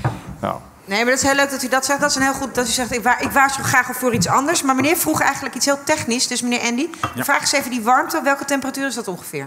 Die van die datacenters afkomt. Wie weet dat? gedronken. ja, dat antwoord gaven net, hè? Wie weet dit? Nou, minder dan 90 graden. Ja. Ja, nee. Iemand weet het in de zaal. Ja, maar het is iets van zie je? 30 graden, Er zijn 30 hele graden. slimme mensen in de zaal. Dus eh, hoeveel? 32. 32 zelfs. Ja. Ja, dus voor laag temperatuurwarmte zou dat kunnen. Maar niet voor eh, midden- of hoge temperatuurwarmte. Goeie vraag. De zaal weet soms meer. Maar daar hè? kan een warmtepomp altijd meer van maken, hè? Even voor de duidelijkheid. Heel goed, heel goed. Kan En we opgewarmd gaan worden. onze huizen goed isoleren. Dus dan kan je ook Ja. uitvoeren met lage temperatuur. Ja. Ik heb een vraag over CCS. Dat is al een paar keer gevallen, hè? Carbon Capture and Storage. Eh, er zijn een paar miljard gereserveerd voor CCS door de regering op het moment. Maar als je naar Rotterdam kijkt, kunnen ze vrij makkelijk CCS doen, want alles is in de buurt. Maar hier is het een stukje moeilijker om CCS te plegen. Want je moet het kwijt en je moet eh, langere leidingen hebben en zo. En dan, eh, als je er dan goed naar kijkt, is er eigenlijk een, een non-level playing field. Want De afstand tot de Noordzee wordt hier even geagendeerd. Wie wil erop reageren? Nou, er wordt naar mij gekeken, maar... eh, Ja, ik wil, ik, wil, ik wil daar ook wel wat op zeggen. ga je gang. Leg even uit. Misschien kan, heb jij Is er nog een business case voor CCS vanuit Amsterdam Nou, vanwege ja, de afstand? Ik, ik, vind het een, ik vind het een hele goede vraag. Kijk, er wordt al jaren over CCS gesproken, in ieder geval zo'n 20 jaar. En eh, als je kijkt naar. li- liet iemand me laatst een heel mooie grafiek zien met drie lijnen. Eén lijn was voor CCS, één lijn was voor wind en één lijn was voor zon. En wat ze hebben bijgedragen aan de vermindering aan CO2-uitstoot. Dan zie je dat wind en zon echt zo een groei doormaken, exponentieel. En dat CCS eigenlijk gewoon heel laag blijft en bijna niet is toegenomen. Dus je kijkt bijvoorbeeld naar Nederland, daar is een heel goed, eh, Nederland is daar een heel goed voorbeeld van. Twaalf jaar geleden hebben we de knoop doorgehakt van oké, we gaan alsnog twee kolencentrales bijbouwen. Die zijn een aantal jaar geleden opgeleverd. Maar onder de voorwaarde dat we die CO2, want een kolencentrale stoot heel veel CO2 uit, dat we die CO2 gaan afvangen en opslaan onder de grond. Nou, daar is niks van terechtgekomen. Sterker nog, vorig jaar is uiteindelijk daar de stekker uitgetrokken. Daar is- zijn echt honderden miljoenen van, eh, eh, aan euro's op de plank blijven liggen. Maar alsnog speelt dat debat, en dat is best bijzonder. Hè? Er is geen één commercieel rendabel project voor CCS. Ehm, en toch dan denk ik van ja, het heeft nog niks geleverd, maar er is wel heel veel vertrouwen. Ja, Dus ik zou denken, waarom eindeloos fossiel aan de voorkant erin blijven stoppen? Maar even staan. En het vervolgens onder de grond stoppen. Ja, kom maar even staan. Kijk, als mensen... Kom maar, Kobi. Dan denk je, oh, daar moeten we even wat mee. Ja. Nee, dat deed ze bij mij ook, dus dan mag ik ook. Ehm, We kennen elkaar heel goed, dus eh, vergis u niet. Ehm, ja, en eh, over dat project, kijk, ik denk dat het CCS-project niet is afgeblazen met kolencentrales vanwege eh, het project, of dat het niet opgeslagen kon worden eh, in, in de in velden offshore. Maar dat vooral eh, te maken had met draagvlakken over de discussie, omdat het om kolencentrales ging. Ehm, er wordt nu een nieuw project opgetuigd om te zorgen dat die Europese commissiegelden alsnog worden besteed. omdat die behoefte hebben aan om die lijn van jou omhoog te krijgen. En er zijn niet zo heel veel eh, projecten die al zover zijn ontwikkeld. En dan zou het gaan om andere CO2-bronnen vanuit de Rotterdamse haven. Ja? Dus ik denk, ik denk dat. eh, Nu, en nu, eh, heel goed dat jullie... We gaan dit, iedereen die nog meer wil weten over deze beef... mag na de dingen. Nu, nu Amsterdam. Ehm, er loopt een CO2-leiding van, van Rotterdam naar Amsterdam. Dat kan je ook terugsturen. Hè? Dus als Rotterdam een systeem heeft, kun je ook denken aan, aan omkering. Het andere is, als Tata Steel eh, geïnteresseerd is, die, die ligt wel aan de kust. En op het moment dat Tata Steel een systeem heeft waarbij het eh, eh, wordt afgevangen... en ze brengen het naar een bron op zee... dan is de verbinding vanuit Tata Steel naar de haven van Amsterdam... is gewoon peanuts, want dat is maar een heel klein stukje. Dus het, het is altijd, moet je... Nou ja, je moet, je, dat ligt eraan of je hoe, hoeveel puntbronnen je hier in Amsterdam hebt. Het is alleen interessant als je een paar goede puntbronnen hebt. Om dan, Wat is een puntbron? Nou, gewoon waar je heel veel eh, CO2 kan afvangen. En niet dat je dat eh, met hele kleine beetjes, want dan, dan worden die kosten te hoog. Mhm. Dus daar hangt het vanaf. En eh, ik denk dat als Tata wil, dan heb je een voorwaarde gecreëerd voor de rest van de bedrijven om eventueel aan te haken. Zo, zo moeten we denken. Dat vraagt om een reactie. Ja, ja met uw naam werd nogal vaak Ja. genoemd. Ja, ja. nou ja, Uniam niet, maar die Nou, ik, ik, ik, ben, ik ben blij dat, eh, dat die eerdere opmerking van, van, van je presentatie aan het begin, dat je die hebt herhaald. Eh, eh, eh, vooraf, eh, carbon capture and storage is geen structurele oplossing. Hè. Je maakt nog steeds CO2 en je stopt het onder de grond. Ja, het Dus- is een transitietechniek, dus is het een geleerd. transitietechniek. Ehm, en, en wij zijn juist bezig eh, met, met onze roadmap, eh, die op korte termijn de technologie eh, ontwikkelt om die CO2 af te vangen. en in een zuivere vorm beschikbaar te hebben, zodat je makkelijker kan afvallen, goed, goedkoper kan afvangen en onder de grond kan stoppen. En je hebt daarmee ook, samen met onze rookgassen, weer het ingangsmateriaal voor die carbon capture and usage. Maar wij zien dat ook als een transitietechnologie. Dat is de HISARNA-technologie, een nieuwe manier van staal maken op basis van een reactor. Eh, laat onverlet dat, dat je op veel langere termijn eh, het liefst staal maakt met behulp van eh, waterstof. of veel meer met gebruik van oudstaal. Ja. En dat is misschien iets waar je op terug wil komen, want ik denk dat de haven van Amsterdam een belangrijke rol kan spelen in eh, de grondstoffenstromen van de toekomst. Mhm. hè, Ja. eh, Ja. en, de, en de circulaire economie daarin kan faciliteren. Zeker, en daar is die ruimte dus keihard voor Ja. nodig, want dan zie je allemaal Het is niet slechts een energiehaven, het is een grondstoffenhaven. Zeker. Ja, meneer, en dan kom ik bij u. Ik hoorde u heel veel over de samenwerking en één zin viel me vervolgens op in het debat. En dat was dat het ging over energiedragers die moeten worden toegewezen. Dat klinkt me toch wat directiever dan samenwerking. Ehm, als het nou niet zo opschiet met die roadmap, wie is dan de partij die die toewijzing of die knop uiteindelijk moet doorhakken? U was degene die dat zei, hè? U zei, Ja. ik, wil, ik wil die aardgas, ik wil dat gas. Toen ik zei toewijzen, dat, dat, heeft, dat heeft te maken met. ehm, ehm, kijk, als je, als je kijkt naar CO2 en, en klimaatverandering, dan is dat een wereldprobleem. Eh, en wat je in eerste instantie wil doen om het op te lossen, is wil zorgen dat iedereen op de meest efficiënte manier zijn energie gebruikt. Ja, dus wat je niet moet doen, is eh, de waterstof toewijzen aan een industrie die sowieso al heel erg energie-efficiënt is. Hè, dan kan je die waterstof beter gebruiken voor, voor de bebouwde omgeving die nog niet energie-efficiënt is. Wordt er zo gepraat bij jullie in die eh, tafels? Dus de toewijzing. Even, checken, even checken of dat nu... Nee, nee overge- overigens ben ik het wel mee eens dat je kan wel degelijk Mevrouw van... vertegenwoordigt ons, de milieuorganisaties, eh, eh, ons niet, maar de burgers die groen belangrijk vinden, aan die eh, onderhandelingstafels die nu eh, voor het klimaatakkoord eh, zijn. Ja. Wordt het al gedaan? Nou, er, er, wordt, er wordt wel gekeken van hoe doe je dat zo slim mogelijk. Hè? Bijvoorbeeld één hele eh, controversiële eh, eh, vorm van, van energiebron is biomassa. Hè? Dus bijvoorbeeld planten, bomen die wij verstoken als vorm van energie. Ja, dan wordt er echt wel gekeken van oké, waar ga je dat inzetten waar het echt, echt nodig is. En het liefst zo min mogelijk. Hè? En dan zeggen sommige partijen aan tafel laten we het alleen gebruiken als grondstof. En sommigen zeggen van laten we er biokerosine of een vorm van biobrandstoffen van maken. Dus ja, dat is wel degelijk. Weet je, het gebeurt nu al. Aan de pomp heb je ook niet altijd evenveel keus aan, aan wat je aan energie verbruikt of waarop je. Maar die meneer vroeg, wie is de, wat is het orgaan die die eventuele toewijzing... Gaan we de dat via de overheid. markt laten doen of moet de overheid? De overheid. Dat is eigenlijk de vraag van meneer, vermoed ik. Ja, en dan, en dan vervolgens zet ik het. Dan is het, dan is het ja, eh, overheid is een beetje moeilijk. Want een overheid die, die kijkt bijvoorbeeld eh, eh, naar Nederland. Ja, en zegt we moeten ingrijpen in Nederland. Hè, alleen de, de industrie die speelt natuurlijk op wereldschaal. Ja, dus daar hebben we een schaalprobleem. En, en daar heb je een schaalprobleem. Oké. En het liefst zou je willen dat er een, een wereldoverheid is die dit even regelt. Maar Ja. Ja, ik, ik, ik had een vraag voor de, de meneer van het havenbedrijf. Eh, twee, drie weken geleden had de heer Kastelein van Rotterdam had, een, eh, had gezegd... we moeten naar een, eh, een, een prijs Dat van is, de 50 voorst- tot... dat is de directeur van de haven in Rotterdam. We moeten naar een CO2-prijs van 50 tot 75 euro per ton. En ik vroeg me af of eh, Amsterdam, Amsterdam het onderschrijft, zeg maar, eh, die boodschap. Oké, hele simpele vraag. Volgt u deze CO2-prijs? Ja. Ja, heel antwoord. Heel goede vraag. Daarnaast zit er ook een meneer die een vraag wilde. Dan hebben we dat hele blokje wel gehad. Ja? Ik, ik heb een vraag over de, de snelheid van de energietransitie. Ehm, een beetje historisch. Zeg maar, 100 jaar geleden draaide Nederland op wind. Nou, toen kwam de fossiele brandstof. Dat bleek heel goed te werken. Dus dat hebben we nu 100 jaar gedaan. Nu gaan we weer terug naar wind. Maar in de tijd werd het door de markt bepaald. Maar nu zijn er ronde tafels. Het is complex, ingewikkeld. We moeten samenwerken. Worden we niet gewoon door de markt ingehaald? En is al dat gepraat alleen maar een rem op de transitie? Even kijken hoor. Dus de prijs van wind en zon is dan de redenering. Zo- Wind is natuurlijk een afgeleide van zonne-energie. Eh, eh, de prijs van wind en zon wordt zo laag. Dat maakt me hoeveel helemaal geen zorgen meer te maken. Want alles, ze concurreren straks al het gas en olie er gewoon uit. Dat is wat u zegt. Mijn, mijn zorg is eigenlijk dat alle gevestigde partijen aan de ronde tafel zitten en die dit remmen.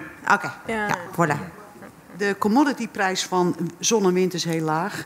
Maar eh, de kosten die worden soms elders in het systeem. Dus we moeten ons niet, ook niet een beetje gek zitten maken. Het is hartstikke laag geworden. Die technologie gaat heel goed. Maar eh, er zitten verschillen tussen kosten en waardecreatie. Nou, die waardecreatiekant zit ook al goed. Maar er zitten eh, kosten in die we nu ergens in het, anders in het systeem stoppen.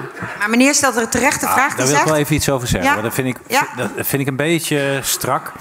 Ehm, want Wa- bij zonne- wat is strak? Nou, strak gevormd. Straf, straf zeg ik, straf. Ehm, want ehm, als we nagaan wat er aan, aan, aan eh, verborgen gelden en subsidies in de conventionele fossiele industrie gaan. En fossiele energieinstallaties, kolencentrales.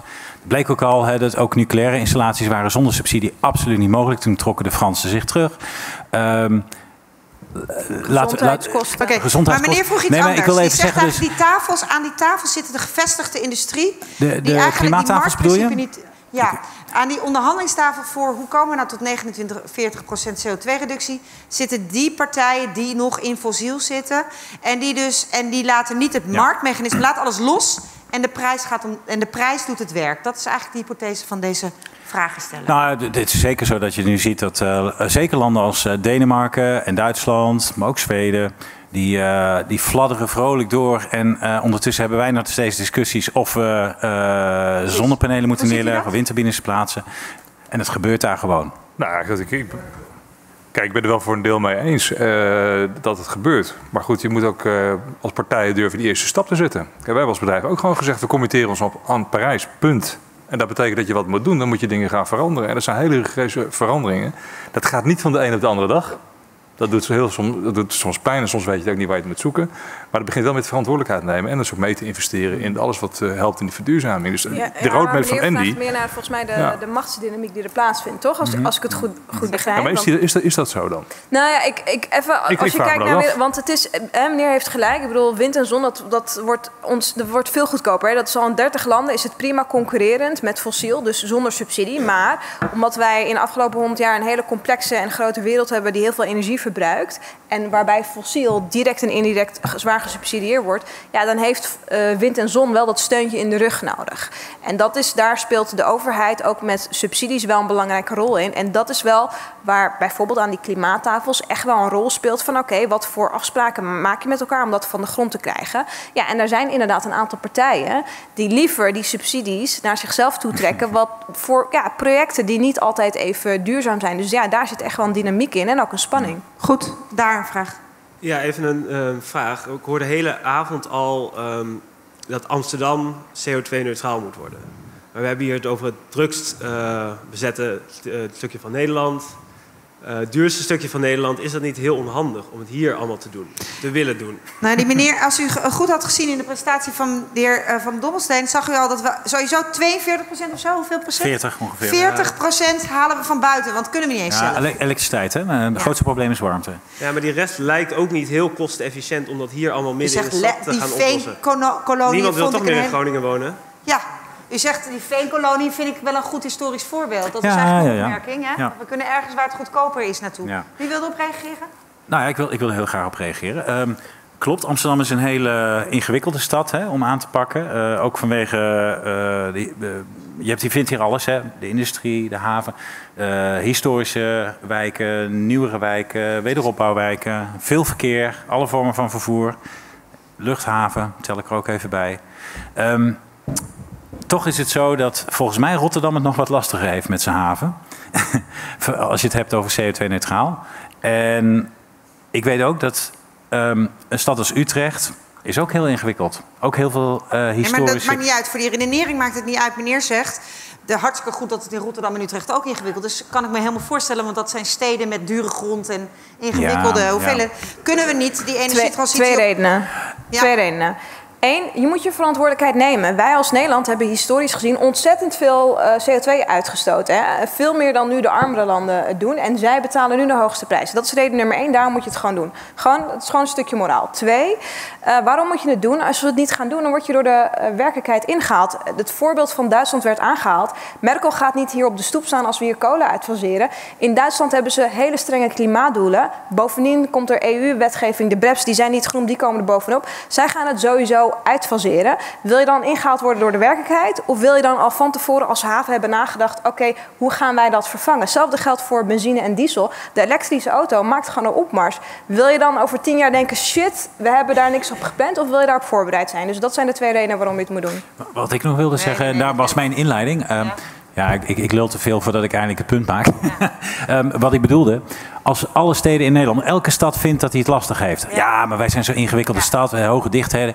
Als elke stad dat gaat doen, we hebben niet genoeg Noordzee om al die, die energie op te wekken en om CO2-neutraal te worden. En We uiteindelijk hebben zegt Groningen, gaan we lekker naar de Sahara. En zo hoor je, precies. Goed, de redenering is duidelijk, maar u hoort eh, wat het panel ervan vond. Meneer. Ik vind het een eh, hele interessante discussie vanavond, maar ik mis één belangrijk punt en dat is de rol van de scheepvaart. Kijk, we, Ja. willen, we willen naar een duurzame haven hè, Ja. met, een, met een duurzame infrastructuur.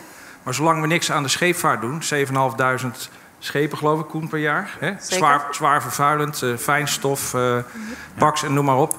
Ja, wat heeft het, wat heeft het dan voor zin? Dus ik, ja, ik weet wel dat het allemaal in IMO-verband moet geregeld worden, maar wat kunnen we nou in Amsterdam doen om gewoon te zorgen dat die, ook die schepen die hier komen, dat die gewoon duurzamer en schoner worden? Ja, heel goed. Ja, wie, wil dit, wie, wil, wie zegt in het panel, gaan we lekker naar de directeur van de haven? Zeggen jullie, hè? Ja. Ja. ja. Ja. Ja, kom maar, kom maar. we gaan bijna namelijk afsluiten. Ja, en dit is wel een goede goed. vraag. Dat is namelijk de, de, de, de, je zou zeggen, ik zei net voor de grap, u wordt de batterij, zei ik ben het al. Dat is nou eenmaal wat een haven doet. Overslag en opslag al generaties lang.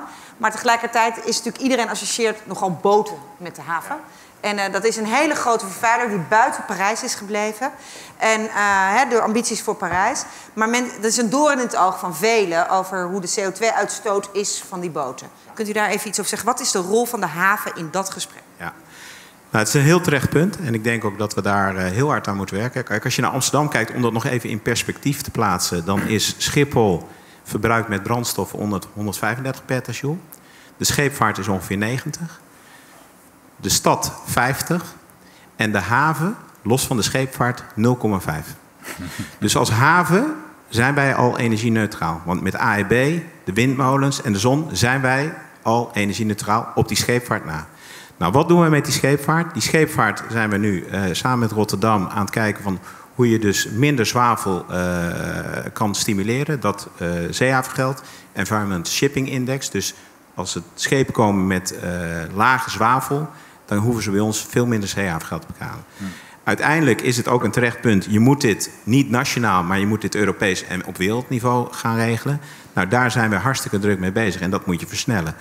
Voor die kerosine van Schiphol, want dat is dus een hele interessante en die zou best op afzienbare tijd gerealiseerd kunnen worden, kun je dus met die waterstof en die CO2-afvang van Tata, kan je dus 50% van Schiphol in 2030 zou je dan dus al met synthetische kerosine kunnen doen. En dan zou je dus een heel groot deel van die 135 petajoule op een andere manier kunnen doen. Nou, en ik denk dat we daar dus op veel manieren verder mee moeten gaan. We zijn ook met walstroom bezig. We zijn, wat ik net zei, die binnenvaart elektrisch. Dus je moet ongelooflijk veel doen. Alleen zijn er bepaalde problemen met die scheepvaart... die je dus niet gewoon alleen als haven Amsterdam kan doen. Duidelijk, dank daarvoor.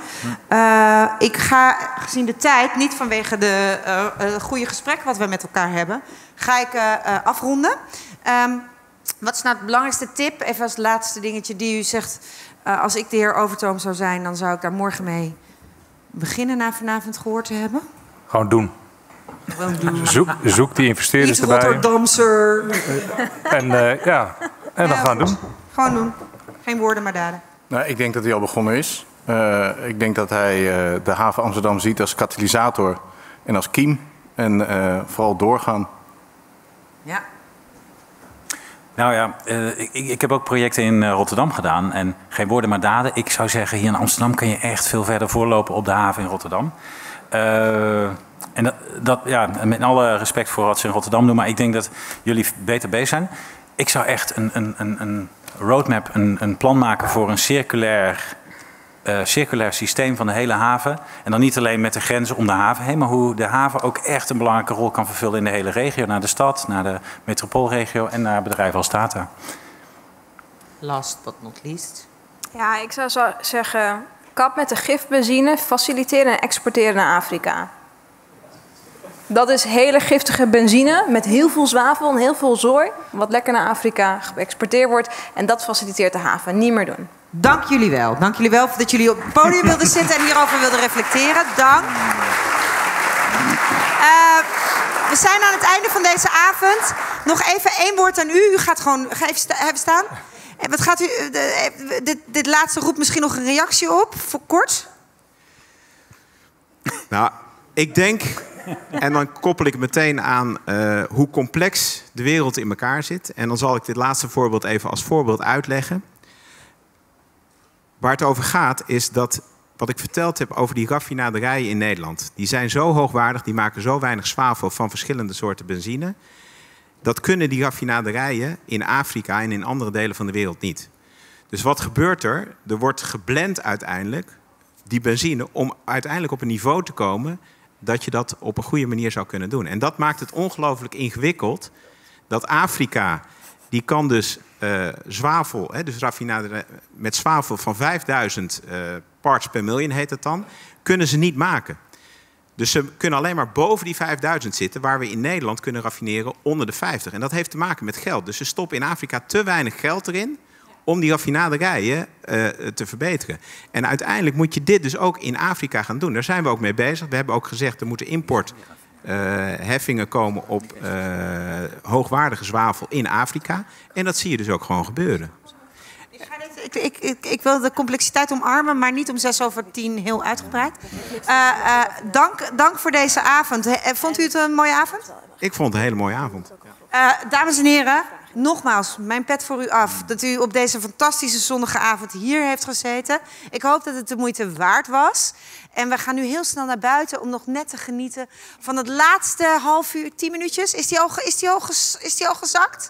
Nou ja, anyway. Dank jullie wel voor jullie komst en uh, voor jullie aanwezigheid en deelname aan dit debat.